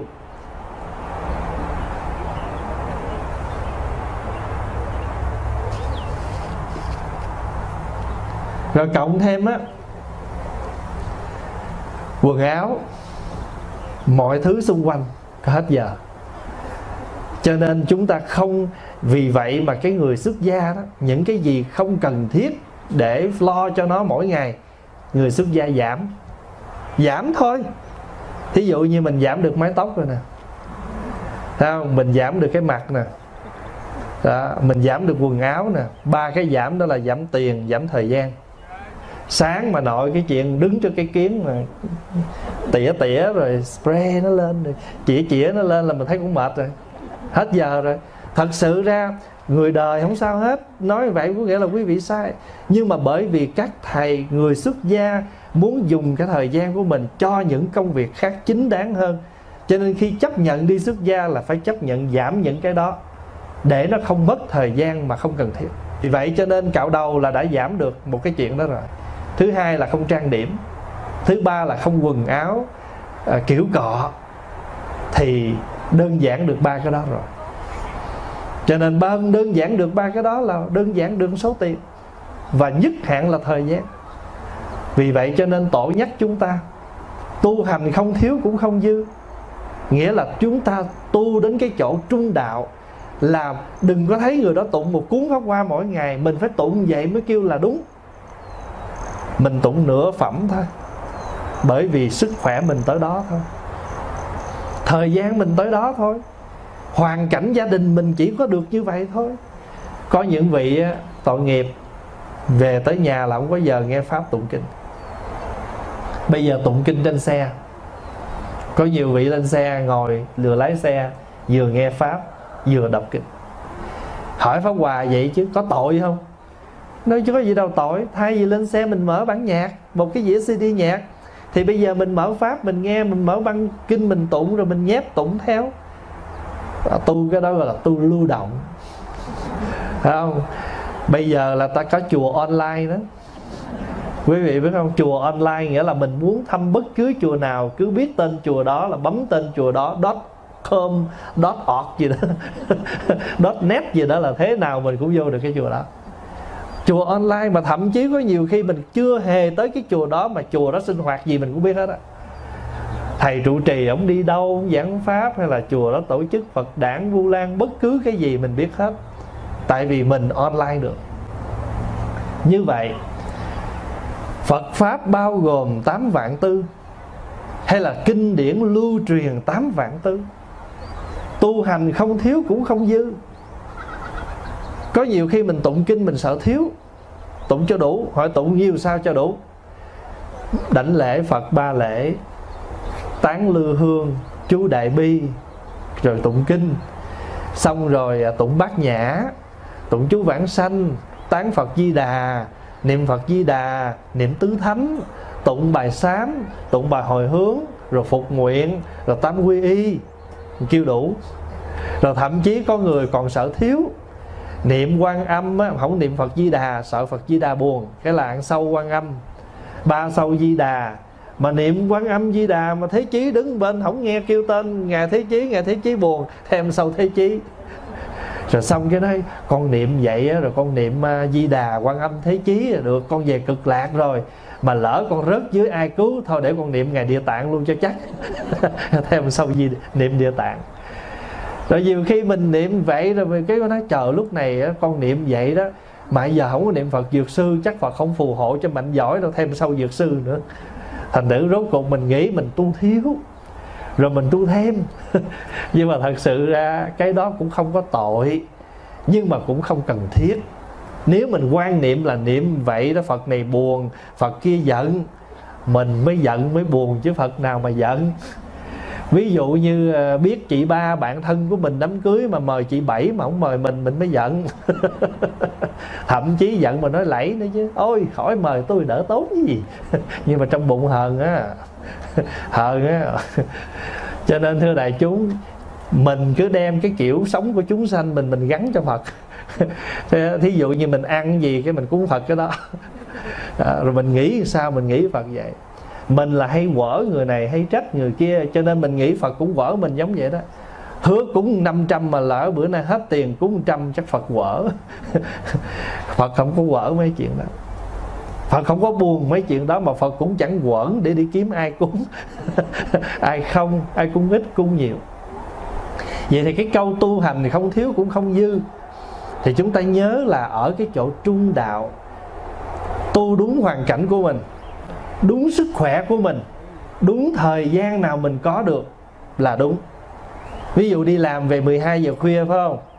Muốn tụng kinh lễ Phật, phải không? Còn sức khỏe, phải không? Cứ tụng. Đừng sợ tụng 12 giờ khuya Phật ngủ không linh.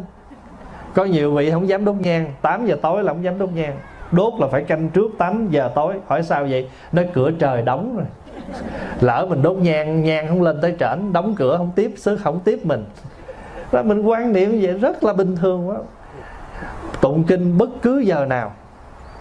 Và thậm chí lăng nghiêm cũng không nhất thiết phải tụng 4 giờ sáng. Nếu mình thích tụng thần chú lăng nghiêm, tụng bất cứ giờ nào. Tụng đại bi không nhất thiết phải ba biến. Không nhất định phải bảy biến, tùy sức khỏe thời gian của mình. Cũng như quý vị ăn chay. Đừng thấy mình ăn chay hai ngày, ít quá à, người kia bốn ngày thật sự quý vị ăn bao nhiêu cũng được hết á.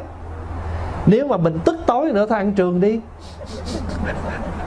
Để khỏi mất công so đo ngày tháng gì hết. Ăn chay là một hình thức rất căn bản để trưởng dưỡng lòng từ bi và giữ gìn sức khỏe.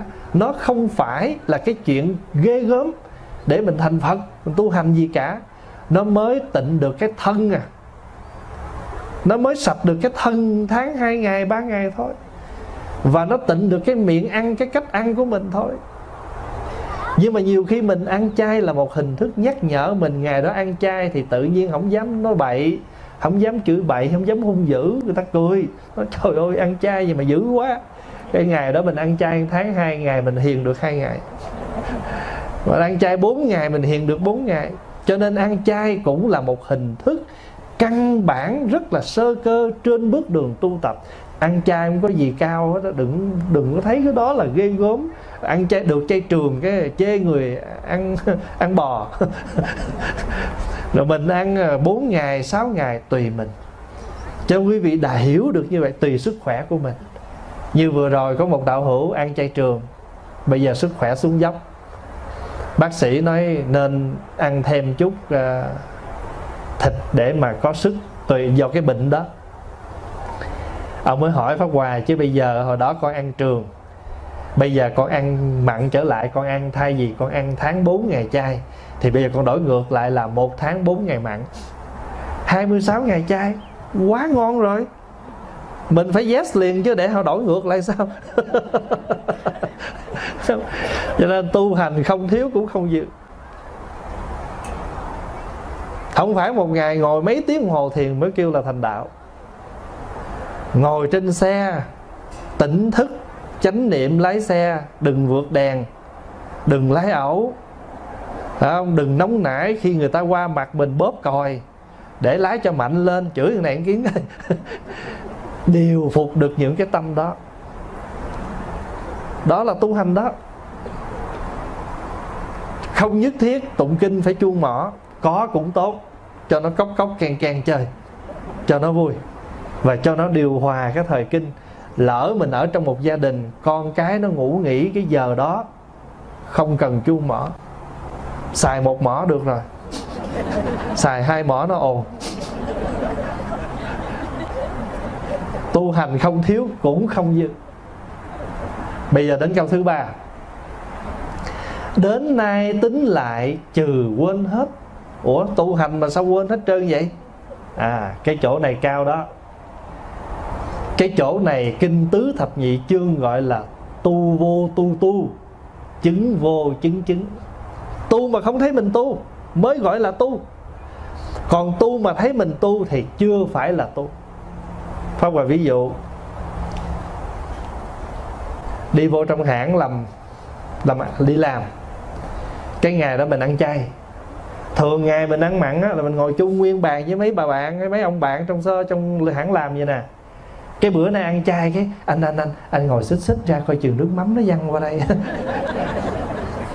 Ờ, bữa hôm ăn mặn rồi ngồi ngồi sát bên mà còn ké người ta cho tương miếng thôi và bữa nay mới ăn có một bữa chay anh ngồi xa xa sợ nước mắm nó văng. Đó mình tu vậy bởi ta ghét.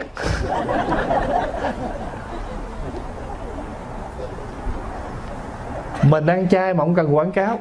Ví dụ bữa đó mình ăn chay mà bạn mời mình đi ăn, phải không? Nếu mình thấy những vị bạn đó, người ta không có thích nghe mình nói mấy chuyện đó. Chị kêu dùm tôi dĩa mì xào rau, tại bữa nay người không khỏe. Muốn ăn cho nó thanh đạm chút, hay là kêu dĩa xà lách, đâu cần tuyên bố ăn chay.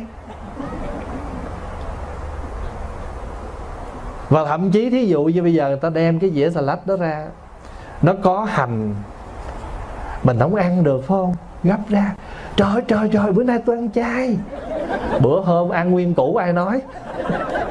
Còn mấy cọng hành ở trong cái chén đó mà làm dữ quá. Thật sự ăn chay không hề cử hành tỏi gì cả. Không có cái chuyện cử hành, cử tỏi gì hết á. Nhưng mà bởi vì á, các vị tổ, các ngài muốn nói chúng ta là những cái chất đó, nó rất là nồng mình ăn nhiều nó hôi miệng, hôi mồ hôi, mà mồ hôi bình thường nó cũng hôi rồi. Bởi nó mới kêu mồ hôi chứ đâu kêu mồ thơm. Bình thường mồ nào nó cũng thơm nó cũng hôi hết á. Hễ có mồ là có hôi à. Chứ không có mồ nào mồ thơm hết á. Nhưng mà mình giảm được nó thì mùi trung bình. Còn mùi ăn, mình ăn nó nhiều quá thì nó nặng cái hơi thở, nó nặng cái cái cái mồ hôi của mình cho nên mình giảm. Đồng thời ở trong hành tỏi cái chất kích thích nó rất là mạnh. Người tu chúng ta giảm nó. Cái chất kích thích trong tỏi trong hành mạnh. Nhưng tỏi hành nó cũng có vị thuốc. Như là thời gian gần đây đó, người ta uống rượu tỏi uống tỏi viên ăn tỏi đen để người ta trị bệnh. Như vậy nếu vì trị bệnh chúng ta dùng cũng chẳng sao. Ví dụ như ai mà ho đó, có thể ăn canh hẹ nấu với đậu hũ, trị bệnh, ho. Có một ví dụ vậy đó. Hay là quý vị bị sốt, có thể lấy củ hành trắng bầm ra, cho bầm nhuyễn ra, cho một tí nước sôi, nước ấm ấm thôi nha. Rồi để vô trong vải, đắp vô cái bắp chân của mình đó. Thì cái hành đó, nó công năng, nó rút sốt cho một đứa nhỏ đó là cái phương thuốc trị bệnh căn bản của người người Âu Châu. Thì Pháp Hòa nói như vậy, thì cái chuyện mà hôm đó mình mình không ăn hành tỏi, đó là chuyện mình chứ không phải chuyện mà ghê gớm. Trời ơi, chết rồi, bữa nay tu tụng kinh hết linh rồi. Tại vì mình quan niệm ăn tỏi tụng chú không linh. Ăn tỏi tụng chú không linh, tại sao nói vậy? Bởi vì cái gì người xưa nói, người ta cũng có cái tại vì mình đa phần là sợ tội, sợ không linh, không thiên cho nên các ngài phải nói vậy để điều phục chúng ta thôi, chứ không có ý gì hết á. Cho nên ví dụ bữa đó người ta đem dĩa xà lách ra ta xào dĩa mì, người ta quên ta để hành chứ gì. Không ăn cứ nhẹ nhàng gấp ra mà không cần phải nói gì hết. Nó đã đổi đổi được không? Tôi ăn chay, có hành ăn cũng được. Trời ơi, bình thường hành cả củ thịt này tôm kia bình thường cho nên mình tu làm sao mà thật là nhẹ nhàng. Thật là nhẹ nhàng. Đừng để cho người khác phiền ở cái chỗ tu của mình. Bởi vì tu là chỉnh sửa, là chuyển hóa. Mà mình chưa chuyển hóa được những cái cố chấp, những cái hình thức. Nói như vậy không nghĩa là chúng ta bác, không phải nhưng mà chúng ta rơi vào cái hoàn cảnh nào thì chúng ta hãy tùy duyên, uyển chuyển vào cái hoàn cảnh đó để chúng ta linh động nhẹ nhàng, không làm phiền ai hết. Tu mà không phiền người khác mới gọi là tu. Ví dụ như mình thắp nhang, bây giờ gia đình mình có người bệnh dị ứng khói nhang, hay là mùa đông bích bùng, cửa nẻo mở cửa không thoáng thì chúng ta bớt nhang lại, không hề có tội. Thậm chí quý vị có thể bẻ cây nhang ra một khúc nhỏ, thắp lên cho nó có cái cái gì? Có cái hương khói nhẹ nhẹ chút xíu để gọi là chút gì đó chúng ta gọi là ấm cúng trong sự cúng dường, đủ rồi. Không nhất thiết phải thắp cả một cây nhang để gọi là cúng. Bởi vì hương nó có nhiều loại cái hương vật chất chỉ là biểu tượng, cái chính là tâm hương. Cho nên mình mới tụng đó, hôm nay đệ tử chúng con thành tâm quỳ trước phật đài, kính dân một nén tâm hương, cúng dường tam bảo. Còn cái hương vật chất này làm bằng mặt cưa, làm bằng bột trầm, làm bằng bột nhang, do khói, do lửa mà có do cây gỗ chúng ta đem ra, chúng ta xây xây nó ra rồi nhồi với keo, đắp nó lên cái gỗ đó để gọi là cây hương. Thì cái cây hương đó chỉ là biểu tượng, còn cái hương chính thức là hương tâm. Thắp đèn cũng vậy, đèn lòng thắp tâm đe tâm đăng, còn hình tướng bên ngoài tùy duyên tùy cảm. Không thiếu không dư, cúng phật vậy không thiếu mà có thêm cũng chẳng dư. Cho nên cũng chẳng gọi là đủ, cho nên rất là bình thường. Ví dụ quý vị thắp cây nhang tụng kinh ha. Tụng nửa thời kinh cái ngó lên bằng phật cái hết hết hương rồi. Bỏ dùi xuống lỡ thắp cây nhang. Hỏi sao vậy? Hết nhang lỡ phật đi thì sao? Mình cảm niệm, cảm giác là có cây nhang phật còn đó. Rồi không thêm cây nhang nữa. Không phải mình mình mình đừng, không cần phải nghĩ như vậy.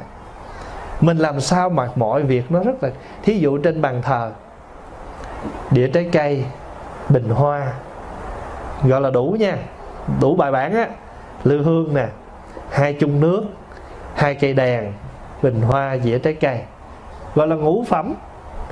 Nhưng mà nếu trên bàn thờ chật quá, không để được hai chung nước cũng không sao cũng không nhất thiết phải nguyên dĩa trái cây, có nhiều khi tượng phật có một chút rồi dĩa trái cây bự vậy nè.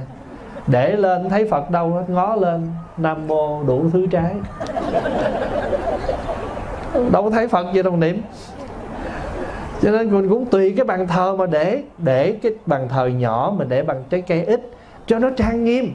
Không cần phải ngũ quả. Không cần phải ngũ quả thật sự ra, thí dụ bàn thờ nhỏ, quý vị để một trái táo, một trái cam, quan trọng là nhìn nó vừa vặn với kích thước cái bàn thờ, nhìn cho trang nghiêm là đủ.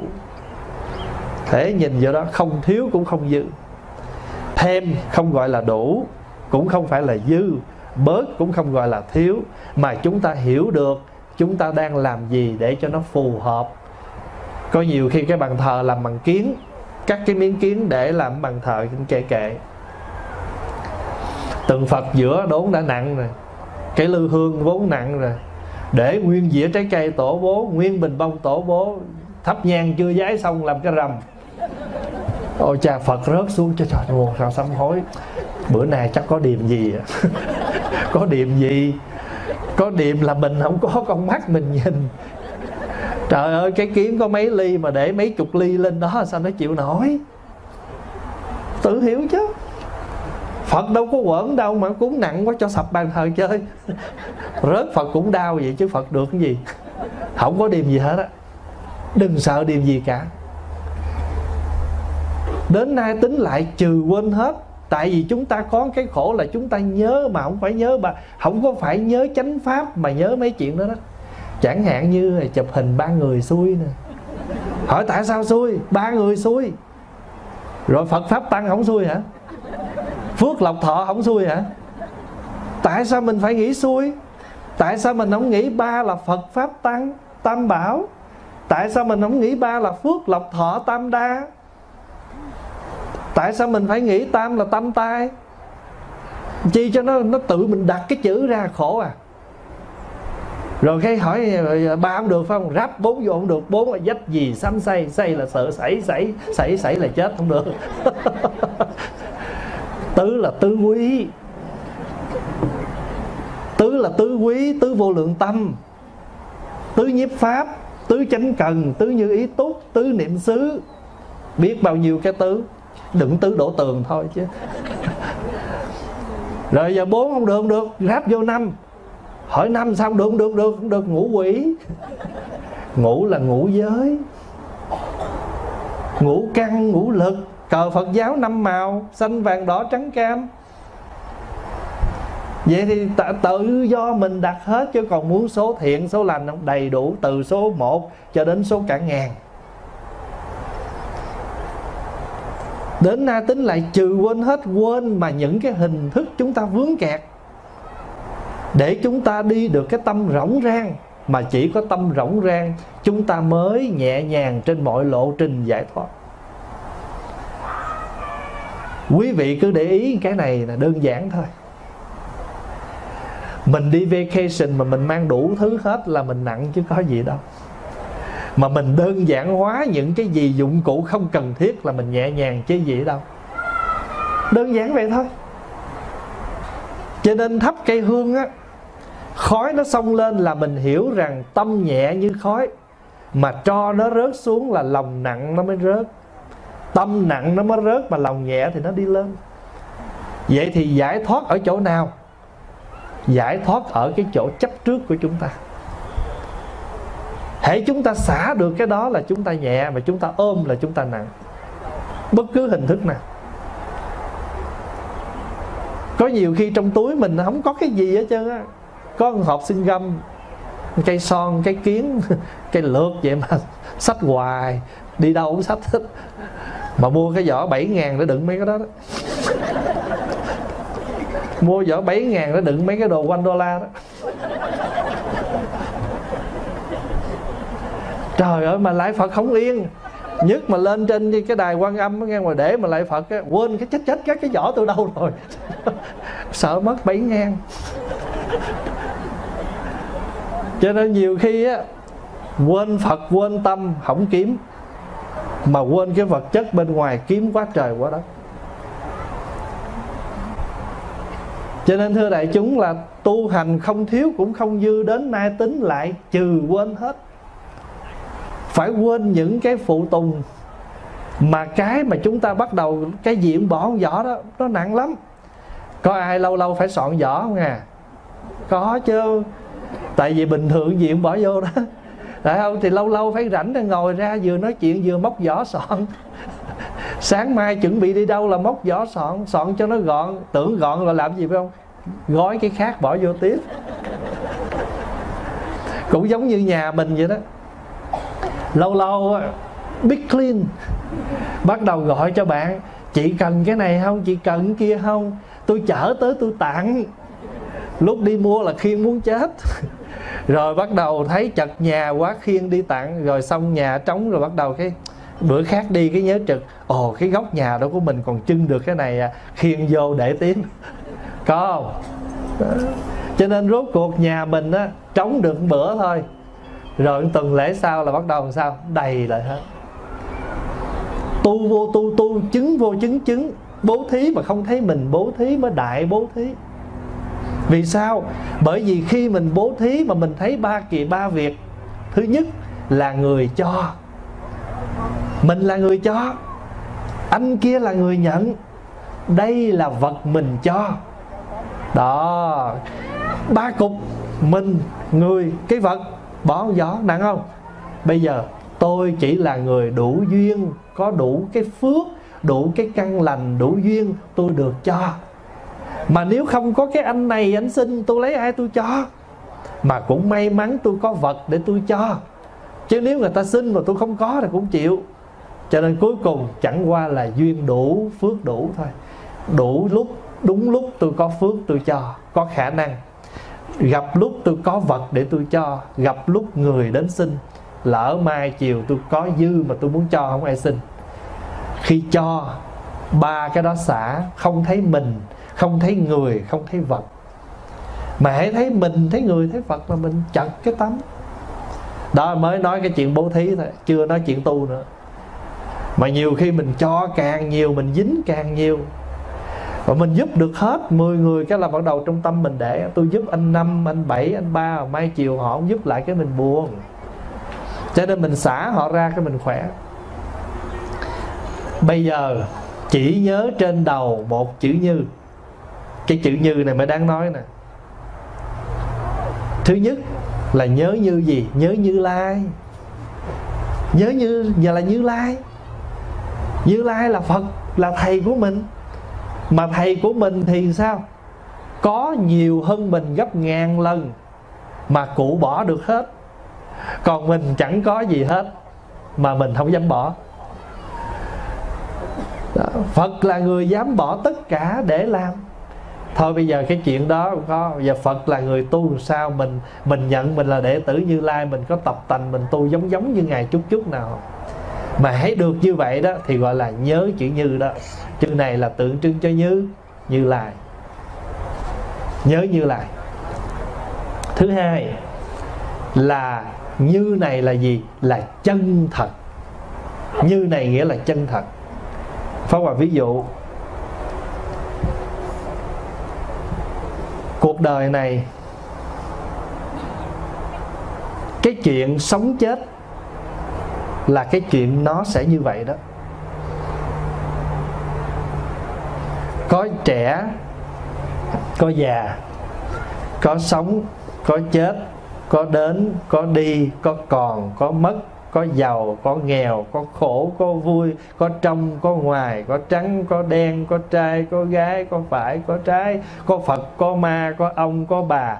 Vì cuộc đời này, bản chất cuộc đời này là đối đãi.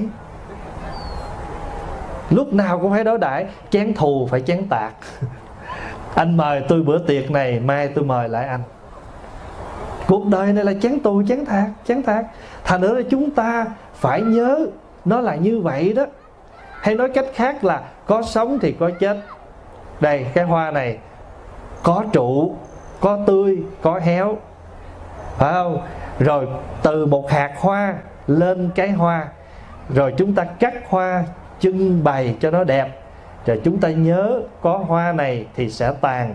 Cho nên cuộc đời nó đến, nó đi như vậy. Nó là như vậy đó. Như thị như thị cho nên khi mà người ta khai thị cho mình đó, hay là quý vị sống mà quý vị gặp nhiều cái cảnh chướng tai gai mắt rồi mới vừa giúp nó nó xảy qua, nó phản á, thay vì mình buồn á, chỉ cần đọc hai câu thần chú thôi. Như thị như thị.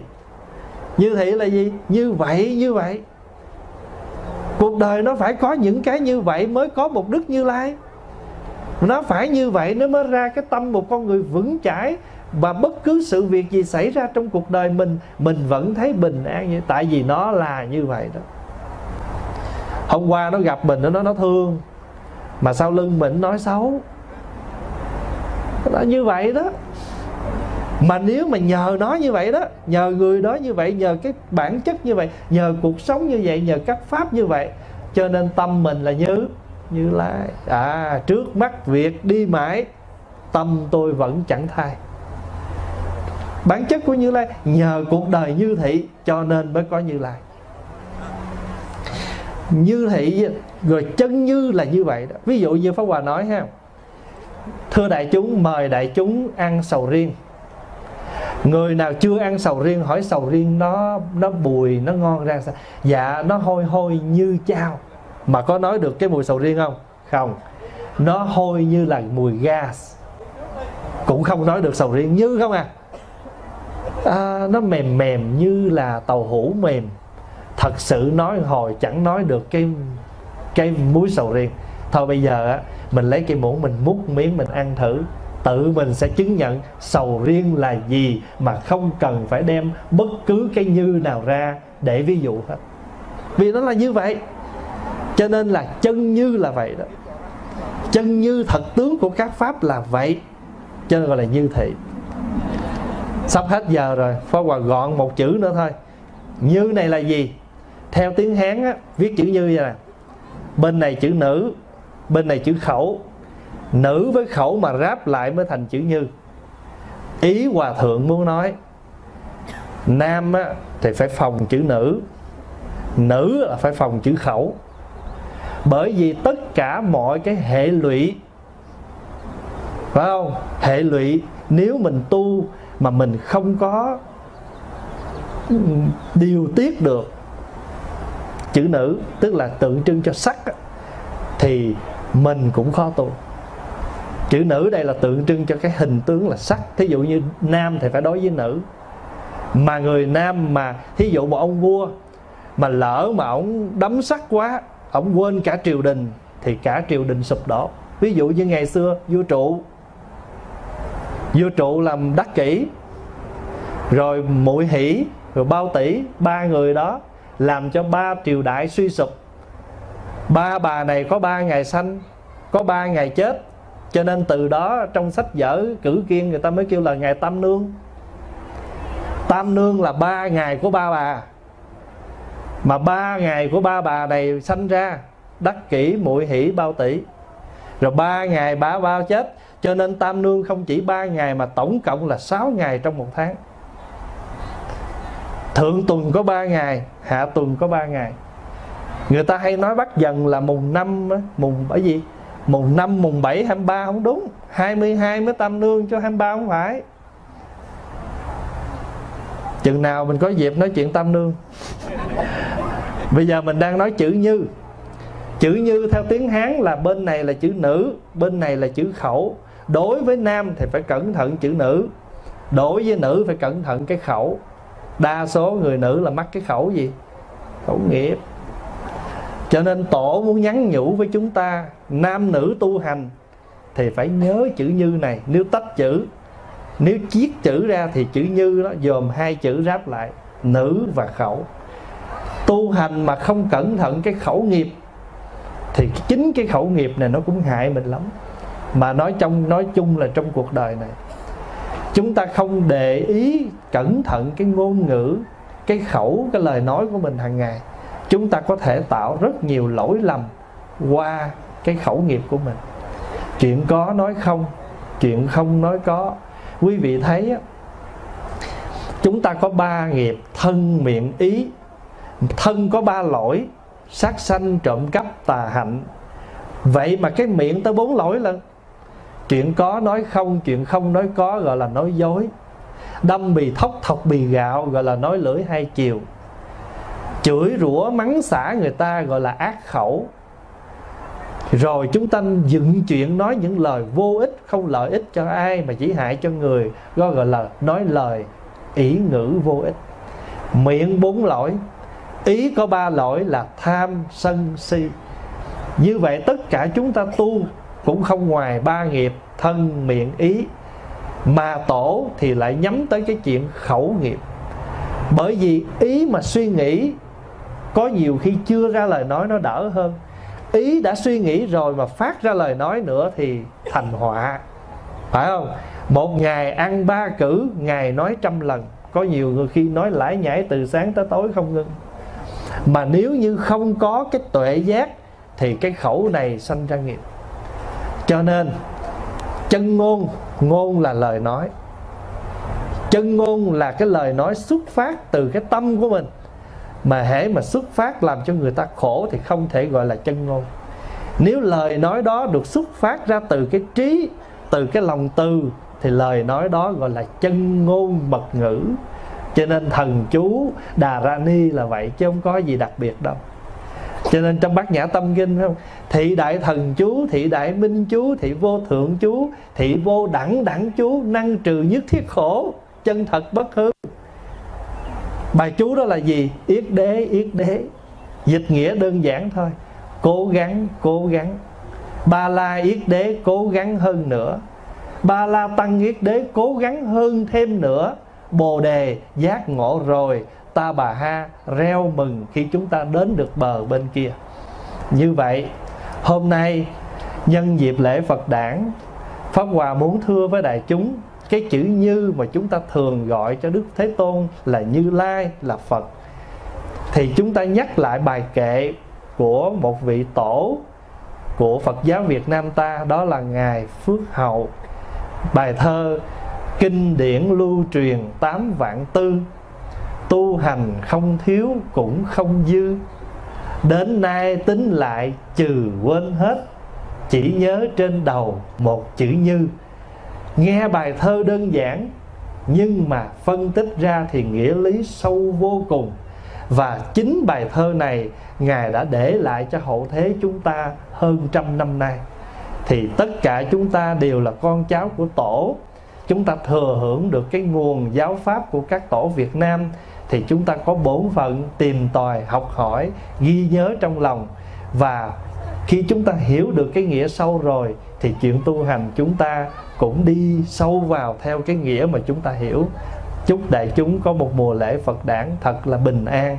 Và quý vị nhớ, lễ Vu Lan, lễ Phật đản, lễ bất cứ lễ gì trong Phật giáo, hãy nhớ nhắn tin cho nhau, chúc cho nhau những ngày lễ đó. Vì chúng ta sống ở nước Mỹ Valentine Day cũng send gửi Happy Valentine Day, Happy Mother's Day, Happy Father's Day, đủ thứ day hết mà quên birthday, quên Buddha's birthday. Như vậy thì nhớ ha, bắt đầu từ năm nay, mình có khả năng xem tất cả những lời chúc theo lễ của người Mỹ ở đây, thì Phật tử chúng ta cũng sẽ gửi nhau những lời chúc theo những cái ngày lễ của nhau để nhắc nhở chúng ta không quên những ngày lễ đó thì như vậy, mình không quên thì chắc chắn con cháu mình nó sẽ cũng không quên. Đến nay tính lại trừ quên hết, quên những cái không cần nhớ. Hãy nhớ những cái cần nhớ. Chúc đại chúng an lạc.